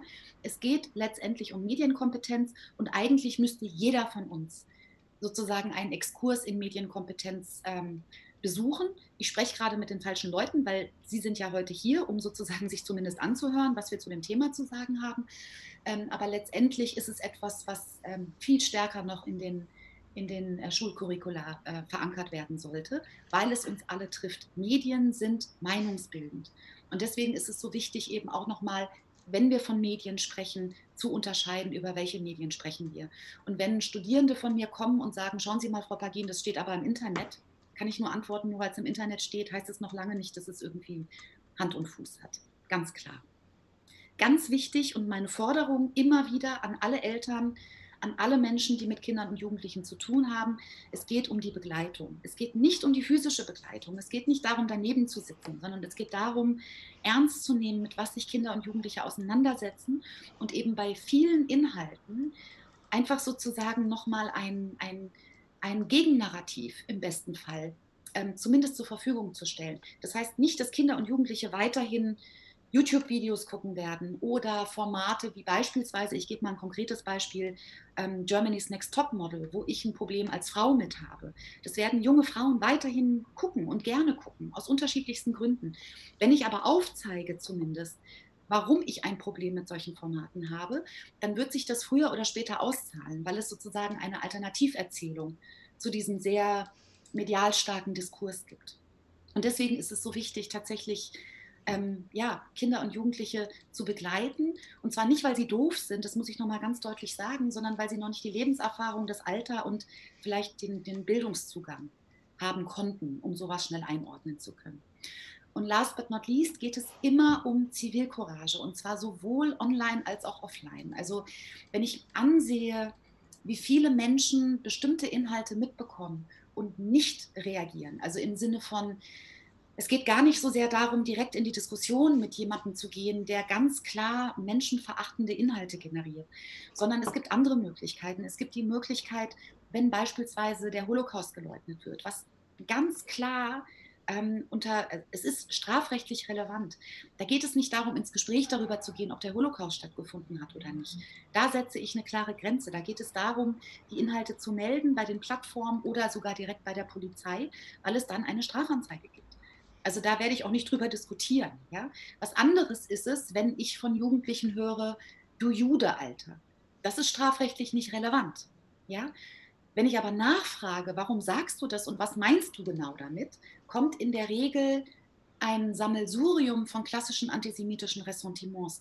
Und da muss ich ins Gespräch gehen, weil ich da nicht voraussetzen kann, dass eben ein Jugendlicher ähm, aus unterschiedlichsten Gründen nicht unbedingt weiß, was er da eigentlich reproduziert. Vielleicht kommt es vom Elternhaus, vielleicht kommt es irgendwie aus seiner Peergruppe, vielleicht ist ihm das nie erklärt worden. Ja? Also da geht es darum, wirklich auch Haltung einzunehmen und tatsächlich ins Gespräch zu gehen, auch wenn es nicht strafrechtlich relevant ist. Hier nochmal die Seiten. Wir haben es jetzt eigentlich schon ein paar Mal gehört heute, aber was ich immer empfehle, ist ähm, die Broschüre, die von Rüdiger und Julia, Entschuldigung, Ladies First von Julia und Rüdiger erstellt wurde, nämlich Verschwörungsideologien und Fake News erkennen und widerlegen. Sehr, sehr empfehlenswert, weil da eben sehr viele Hinweise, die heute auch schon gegeben wurden, nochmal zum Nachschauen veröffentlicht wurden und die sehr hilfreich sind, um Informationen zu überprüfen. Mimikama ist heute auch schon genannt worden sowie der Faktenfinder der Tagesschau. Es gibt einige Angebote dazu. Ich empfehle in der Regel verschiedene ähm, Recherchetools zu nutzen und nicht nur eine einzige. Und ich bin erstmal durch. Ich weiß gar nicht, ob ich jetzt in der Zeit, ich bin ja wahnsinnig gut in der Zeit. Ich bin quasi eine Minute vorher fertig. Unfassbar. Und freue mich jetzt auf Fragen. Ja, das war eine Punktlandung. Vielen Dank, äh, Alia Pagin. Ähm, bevor Sie aber ähm, alle ausschalten oder sich verabschieden ins Wochenende, möchten wir jetzt 20 Minuten noch die Chance nutzen, eine Abschlussrunde zu machen und ein paar konkrete Fragen zu deinem Vortrag zu klären. Und äh, hier sind zwei gleich, die zum Teil schon im Chat andiskutiert worden sind, aber ich würde Ihnen gerne nochmal die Prominenz geben, die sie verdienen. Nämlich, ähm, philosophisch gesehen sind Vor- minus Urteile, also Vorurteile wichtig, um überhaupt zu Verständnis zu gelangen, beziehungsweise den Horizont zu erweitern. Wie lässt sich zwischen Vorurteilen und Vorurteilen zusammengeschrieben unterscheiden? Ganz, ganz wichtige Frage. Also es gibt tatsächlich ähm, einen Wissenschaftszweig dazu, die sogenannte Vorurteilsforschung. Und wir wissen, das ist, klingt, glaube ich, mit der Frage auch so ein bisschen an, wir sind gar nicht in der Lage, keiner von uns, quasi ähm, alles permanent ähm, ohne Vorurteile zu betrachten. Das wäre so dermaßen reizüberflutend, dass wir kognitiv überhaupt nicht mehr in der Lage wären, uns im Alltag zu bewegen. Ähm, vielleicht kann ich die Frage andersrum beantworten. Ähm, keiner von uns ist vorurteilsfrei. Und ich glaube, und wir werden es auch nie werden, also genau aus diesem Grund, es hat viel mit äh, äh, kognitiver Wahrnehmung zu tun und auch neurologische Prozesse natürlich. Aber wichtig an der Stelle ist, dass man die eigenen Vorurteile reflektiert. Also wenn ich mir darüber bewusst bin, dass ich aufgrund einer bestimmten Erfahrung ähm, automatisch die Straßenseite wechsle, wenn eine Person mir entgegenkommt, die wie eine Person aussieht, mit der ich mal ein Problem hatte beispielsweise, und das reflektiere, dann bin ich nicht so gefährdet, ähm, eben eine, eine Gruppe von Menschen diese Zuschreibung zu machen, sondern mehr zu verstehen, wie ich selber sozusagen zu diesem Vorurteil gekommen bin. Das heißt nicht, dass ich dann vorurteilsfrei werde, ja, aber sozusagen an, an also am einfachsten gesagt, alle. Also ich habe einfach ein Problem mit alle, weil es gibt einfach keine alle. Und wenn man das schon hinterfragt, dann kommt man, glaube ich, schon ein bisschen. Also es gibt gewissermaßen eigene Selbstreflexionen, das hatten wir ja schon mehrfach auch als, als äh, mal Punkt oder Werkzeug der Selbst. Das ist ja auch ein wissenschaftliches Instrument, also in vielen äh, gerade geisteswissenschaftlichen, soziologischen, bei den Ethnologen kenne ich das auch, dass die Selbstreflexion quasi schon als Methode, ohne dass es zu einer Nabelschau werden muss, dann zwangsweise äh, erhöht wird, um sich seiner eigenen Prägung bewusst zu werden und im Zweifelsfall sich einer objektiven Beschreibung zu nähern ne, und sich dann auch bewusst zu sein, es gibt diese objektive Wahrheit eigentlich nicht, sondern wir müssen uns einfach in einem bewussten ähm, Austausch über, mit uns selbst über die, die Bias und die Prägungen bewusst werden, um Ressentiment geladener Sprache und gesellschaftlichen Dynamiken auch zu begegnen.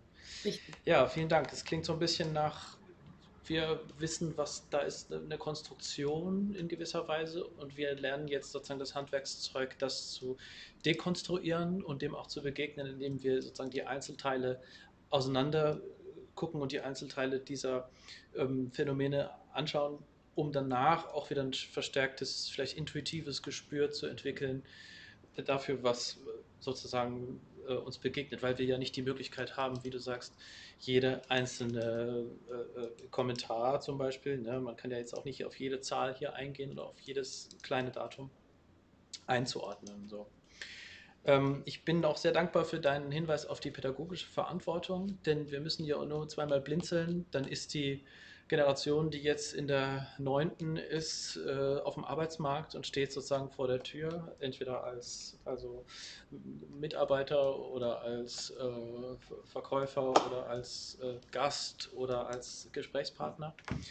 Ähm, wie würdest du denn sagen, ich, ich bilde mir ein, also es gibt dieses Beispiel, was auch in der, im Chat aufgetaucht ist, ob das Internet zumindest kalt die Dorf- oder Eckkneipe ersetzt. Ähm, wie, welche Methoden funktionieren denn gut, um sozusagen nicht den Gap zwischen Online und Offline oder Keyboard und Face-to-Face, sondern zwischen den Jugendlichen und Erwachsenen zu überbrücken. Ne? Also wenn wir sagen, wir müssen da in, ins Gespräch kommen und so weiter und es ist in Familien und in der professionellen Arbeit in Schulen wichtig, was äh, ist denn sozusagen der wirksamste Zugang zu Jugendlichen, um zu sagen, jetzt ähm, geht es in der Richtung weiter, weil ihr euch da verrannt habt? Ich würde sagen, sie ernst nehmen, tatsächlich. Also mhm. ich erlebe immer wieder, dass äh, meine Erwachsenenwelt sehr gerne über Kinder und Jugendliche spricht, aber selten mit ihnen. Also ne, tatsächlich dieses Interesse dafür zu haben, warum ähm, konstituieren sich Jugend- und Subkulturen im Netz beispielsweise. Ja? Also das ist ja auch nichts Neues, es verlagert sich nur lediglich oder es bildet sich zum Teil dort ab. Das heißt ja auch nicht, dass es nicht reell gelebte Jugendkulturen mehr gibt beispielsweise. Aber das ernst zu nehmen und tatsächlich, ähm, Julia hat es vorhin auch schon richtig angesprochen, auch nicht so schnell, und das gilt für Erwachsene letztendlich auch, das Ganze irgendwie als, das ist alles Unsinn irgendwie abzutun. Und ich glaube, also wenn jetzt äh, wirklich ein, ein Mensch vor mir steht, der ganz klar formuliert, ähm, weiß ich nicht, äh, Geflüchtete sind alle Terroristen und bringen irgendwie Corona ins Land. Ja? Ähm, da überlege ich mir durchaus zweimal, ob ich da ins Gespräch gehe, weil selbst wenn ich ins Gespräch gehe und eine Stunde darüber diskutiere, bin ich nicht sicher, ob ich tatsächlich diesen Menschen dazu bringen werden kann, seine ganze Weltanschauung durch ein einstündiges Gespräch über Bord zu werfen. Aber nochmal, Kinder und Jugendliche haben eben oft nicht eine Alternativerzählung dazu. Und deswegen finde ich es so wichtig, dass wir da auch gerade im pädagogischen Bereich genau hinschauen und tatsächlich ähm, das ernst nehmen und eben mit Methoden, die eben auch von Rüdiger und Julia heute aufgezeigt wurden, ähm, versuchen sie dabei zu unterstützen. Wir müssen sie befähigen. Es ist eine Kulturtechnik. Medienkompetenz ist eine Kulturtechnik, die genauso unterrichtet werden müsste wie Lesen, Schreiben und Rechnen. Das ist nicht etwas, was uns in die Wiege gelegt wird umso wertvoller dein Beitrag und deine differenzierte ähm, Arbeit in den Schulen. Ähm, ich bin so ein bisschen verführt zu dem Gedanken, äh, wenn man jemanden ernst nimmt in seiner Ansicht gewissermaßen, dann führt es vielleicht dazu, dass dieser jemand oder diese jemand ähm, diese Haltung vielleicht eher bereit ist zu hinterfragen oder zu begründen als wenn man es als sozusagen Schwurbel, Verschwörungstheorie und sozusagen abtut und so. Und heute Morgen ist auch schon diese Differenzierung angeklungen. Liegt darin nicht vielleicht auch eine Chance, sozusagen zu balancieren und den, die Brücke wieder zu schlagen und ins Gespräch zu kommen, abgesehen von dem totalen Abgrund äh, und Hate Speech und so weiter, zu sagen, ich nehme jemanden wirklich ernst. Ich nehme jemanden wirklich ernst, der mir erzählt, ja, die Erde ist flach was haltet ihr davon? Vielleicht ist das auch eine Auf, äh, Auftakt vielleicht für die Abschlussrunde und wir können darauf nachher wieder eingehen, weil mir geht es schon auch stark darum, nochmal zu klären, welche Haltung können wir sozusagen entwickeln oder mit welcher Haltung gehen wir durch die Welt. Jetzt sind alle da, aber mhm. vielleicht Alia erst, ja. Ähm, ja, ich glaube, Julia wollte gerade was sagen, aber okay. ich nicht gehört. Julia, nochmal vielleicht? Na, wir haben noch keinen Ton. Der Ton fehlt bei euch leider. Ihr dürftet doch eigentlich Ton von mir haben jetzt. Ja, natürlich, das wäre. Genau, denn äh, das ist äh, tatsächlich etwas, was uns beim Goldenen Aluhut auch echt mega wichtig ist. Wir amüsieren uns über Verschwörungsideologien, über die Mythen, über die Erzählungen und nicht über den Menschen. Deswegen sind ja bei uns mhm. auch alle Content-Screenshots äh, zensiert. Das ist ganz, ganz wichtig. Ähm, bei uns wird auch nicht der Onkel Heinz von nebenan äh, als ähm, Goldener Aluhut-Anwärter äh, nominiert. Also wird vielleicht schon, aber wird von uns aussortiert.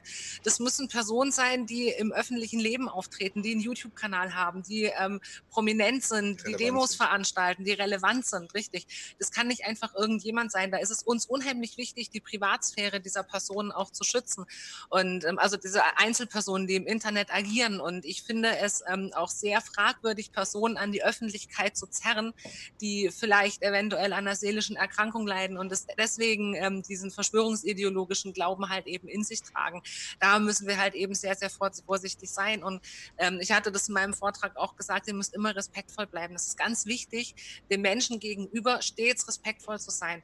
Wenn wir ihnen gleich mit Hate reagieren, mit diesem, dieser Negativkonstruktivität, von der wir vorhin gesprochen haben, auch, ja, ähm, dann treiben wir sie nur in die Arme derer, die sie schon sehnsüchtig erwarten, weil wir haben da draußen jede Menge Leute, die sich freuen, wenn wieder neue Leute in ihre Gruppe kommen und sagen, oh hey, und ich, äh, meine Familie oder meine Freunde, die bezeichnen mich nur noch als Aluhut und nur noch als den Schwurbler und als Nazi und ich fühle mich voll missverstanden, weil ähm, ich eigentlich bin ich auf der Suche nach Antworten und auf der Suche nach Informationen und ähm, ich habe aber da im Internet gelesen, das so. Und dann kommen die her und sagen, ey Mensch, ist doch schön, dass du bei uns bist. Willkommen in unserer sozialen Gruppe und wir geben dir das, was dir die anderen nicht geben. Und zwar Verständnis für deine Probleme. Also es ist, wenn wir ähm, verstehen wollen, warum sich Menschen den Verschwörungstheorien zuwenden, müssen wir den Menschen verstehen und es ernst nehmen. Und äh, ich habe vorhin auch in den Chat-Kommentaren gelesen, ähm, dass es vielleicht ein bisschen falsch rübergekommen ist. Natürlich ist es wichtig, immer die Person dahinter respektvoll zu behandeln und ähm, ihre Sorgen ernst zu nehmen und ihre Nöte ernst zu nehmen. Das heißt nicht, dass wir die Person als dumm darstellen oder ihre Nöte als dumm darstellen, aber der, dem Schwurbel, dem sie gefolgt ist, der ist dumm, aber nicht die Person. Das ist ein Riesenunterschied. Das ist ganz, ganz wichtig. Vielen Dank. Ja, ich habe noch zwei ganz konkrete Fragen. Und zwar kommen die auch aus dem äh, Chat, soweit ich das mitbekommen habe. Und ich fange bei der zweiten Frage an. Da geht es um etablierte Medien und Zeitungen. Und ich lese direkt vor. Wie gehen etablierte Medien, Zeitungen etc. mit dem Druck nach Aufmerksamkeit und Besonderheit um? Emotional, emotionalisieren nicht alle auf gewisse Weise. Das ist eine ganz, ganz wichtige Frage. Also zum einen ähm, wissen wir aus den vergangenen Jahren, dass es den äh, auch großen Verlagshäusern sehr schlecht geht. Das ist ein riesengroßes Problem für den äh, qualitätsjournalistischen Bereich, weil ähm, immer weniger Leute bei den äh, zum Beispiel großen Tageszeitungen festangestellt sind und sehr viel verlagert wird auf freie Mitarbeiter. Und die Frage klang heute Morgen auch schon an. Natürlich passieren auch journalistische Fehler. Also es gibt ganz berühmte Beispiele, ähm, wo Publikationen ähm, Inhalte veröffentlicht haben, die absolut äh, frei erfunden waren. Also bei der letzten Goldenen Aluhut-Verleihung gab es sogar einen Preisträger dazu, ähm, wo wirklich nochmal ganz wichtig ist zu sagen, äh, Medien werden von Menschen gemacht und natürlich können Fehler passieren. Das ist aber ein großer Unterschied und wird in der Regel auch be, äh, berichtigt, by the way. Aber das ist ein großer Unterschied zu diesen gezielten Falschinformationen, die es sich zur Aufgabe machen, letztendlich eine Ideologie oder Propaganda oder wie auch immer irgendwie zu verbreiten. Ähm, ich würde, kurze Antwort, ich versuche es kurz zu machen, weil da kann man eine Ringvorlesung zu machen. Ähm, wir müssen alle mehr Bereitschaft zeigen, auch für qualitätsjournalistische Inhalte zu zahlen. Also wenn ich irgendwie sage, nö, muss ich nicht, ich muss auch keine Zeitung mehr kaufen, weil ich habe ja irgendwie Facebook und Instagram und wenn ich da in den Newsfeed gehe, dann kriege ich irgendwie auch mit, was in der Welt passiert. Nein, das ist genau das, was ich vorhin meinte mit dem schlechtesten Fall haben da Algorithmen irgendwann festgelegt oder legen permanent fest, was ich da gezeigt bekomme. Also ja, Emotionalisierung hat an der Stelle ähm, auch in großen klassischen qualitätsjournalistischen Medien spielt eine große Rolle. Die Frage ist nur, wo ist die Grenze? Und das meinte ich vorhin mit Herabwürdigung oder Würde des Menschen ist unantastbar. Also inwieweit achten Sie vielleicht mal selber drauf, inwieweit dieses Video und die Bilder von George Floyd, während er stirbt, von wem reproduziert wurden. Da sieht man schon, gibt es signifikante Unterschiede. Ja, ich habe noch eine zweite Frage. Danke. Gibt es im Bereich der Kunde, Kinder- und Jugendpsychotherapie schon Modelle für einen therapeutischen Ansatz, beziehungsweise soziologische oder psychologische Studien, die sich mit dem Thema auseinandersetzen, inwieweit es einen solchen Behandlungsansatz gibt? Kennst du was? Behandlungsansatz für äh, adäquate Medienerziehung. Ist damit gemeint, vermute ich? Also ich kann es nur so übernehmen, wie es hier kam. Ähm, soziologische, psychologische Studien, die sich mit dem Thema auseinandersetzen, inwieweit es einen Behandlungsansatz gibt. Mhm. Also jetzt in, in Bezug auf tatsächlich Medienerziehung, Medienbegleitung wüsste ich jetzt ad hoc nichts. Das heißt aber nicht, dass es das nicht gibt. das muss ich ganz klar sagen. Ähm, ich kenne nur sozusagen die Versuche zu dem Begriff, und den finde ich wiederum sehr problematisch, und das ist jetzt schon wieder ein anderes Thema, aber sogenannte Online-Sucht. Da weiß ich, dass es sozusagen klinische Bemühungen gibt. Aber jetzt zu einer adäquaten Medienerziehung wüsste ich jetzt nicht. Aber vielleicht, weiß nicht, Julia, Rüdiger, wisst ihr was? Ähm, ja, vielleicht nicht unbedingt ähm, zur klassischen Medienerziehung. Ähm, das wäre mir jetzt auch neu.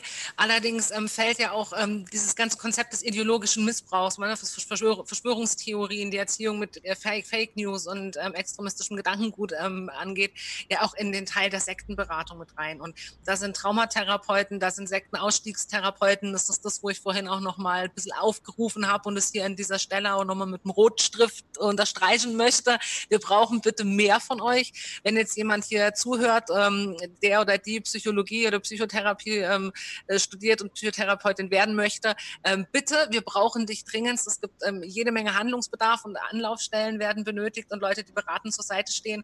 Vor allem auch Leute, die sich in ähm, der ähm, Pädagogik mit Kindern und Jugendlichen auskennen, dass sie auch für die Kinder dieser Familien da sein können, für die Partner ähm, in diesen Familien, die für sich selbst emotionale Skills brauchen, um sich von der Situation abzugrenzen. Das ist unheimlich wichtig, gerade auch für die Kinder und Jugendlichen, die jetzt gerade in der Abnabelungsphase sind, die jetzt eine Lehre beginnen, ja, auf ihrem eigenen Leben stehen ähm, möchten und ähm, rausgehen in die Welt, aber trotzdem die ideologische Bindung ihrer Eltern haben. Also ähm, da, wenn ihr euch da motiviert fühlt, ähm, tätig zu werden, wenn das euer Berufsfeld ist, wirklich bitte, wir nehmen, wir suchen euch dringend. ähm, ja, und wenn ihr forschen möchtet, seid ihr auch herzlich willkommen. Also immer wenn so Semesterzeiten sind, Semesterendezeiten, da werden wir total oft angefragt für Interviews und ob man unser ähm, Archiv haben könnte von unseren Feldforschungen und äh, weil man eben in diesem Bereich forschen möchte. Und ähm, es kann sein, dass in den nächsten Jahren was kommt. Also mit äh, viel ähm, Hoffnung und Freude sage ich, äh, es kommt vermutlich etwas in nächster Zeit. Aber habt bitte Geduld und wenn ihr die Möglichkeit habt, ähm, wirkt aktiv daran mit. Das wäre großartig. Also ein ganz deutlicher Aufruf, sich zu vernetzen im Netz und auch natürlich persönlich. Ähm, es gibt hier einen Hinweis, äh, der Begriff Verschwörungstheorie darf nicht dazu führen, möglicherweise berechtigte Kritik an realen Interessenverflechtungen zu diskreditieren. Und da gehen wir sozusagen, ich will mal hier den Kreis schließen, nochmal ganz zum Anfang in einem Abschlussstatement zum Beispiel, denn ihr interessiert euch ja auch im Einzelnen ja dafür, diese Fakten aufzudecken und dann kommt ja durchaus Interessensverflechtungen ins Spiel. Also ich sag mal, sagen wir mal, äh, Bill Gates prägt den, den Begriff der Gesundheit mit auf seine Art, indem er bei der WHO engagiert ist und so weiter, aber er bestimmt ihn nicht und so weiter. Und diese Differenzierung geht unterwegs verloren. Und einen Gedanken hatte ich vorhin auch noch, und ich vermisse so ein Wort den ganzen Vormittag, nämlich das ist das Wort äh, Gerücht. Wo ist denn, was ist denn mit dem Gerücht? Also ich ich stelle mir vor, es gibt ein, ein äh, Gespräch am Stammtisch und es behauptet jemand, äh, äh, was weiß ich, die, die, die ähm, Merkel gibt es gar nicht. Und oder was harmloseres oder was äh, weniger abstruses und der nächste sagt, ach, das ist doch ein Gerücht, so, das halte ich für ein Gerücht. Und die Frage ist jetzt, wo ist diese Abstufung geblieben, diese Differenzierung? Und äh, ist das ein Zeichen unserer Zeit, dass das sozusagen weiter auseinanderstrebt, diese extreme Haltung zwischen den Meinungen, die begründete Meinungen oder wenig gut begründete Meinungen sein können? Und wie können wir dagegen uns anstemmen? So, wir sind wieder da. Entschuldigung, wir hatten eine kleine Connection lost. Ja, ich habe äh, aufgefüllt. Ja, das, ist, das äh, tut mir aufrichtig leid. Äh, das ist Homeoffice und manchmal laufen die Katzen auf die Tastatur und schließen Zoom, sorry. ähm, äh, genau, richtig. Ähm, das ist auch das, was ich meinte äh, vorhin. Wir dürfen ähm, nicht jeden gleich mit der Aluhutkeule über die, die Birne ziehen. Ja, das, ist, das, das verstreckt einfach auch die Leute. Nicht jeder, der berechtigte Kritik übt, ist ein Verschwörungsideologe, Verschwörungstheoretiker. Deswegen hört euch die Person an.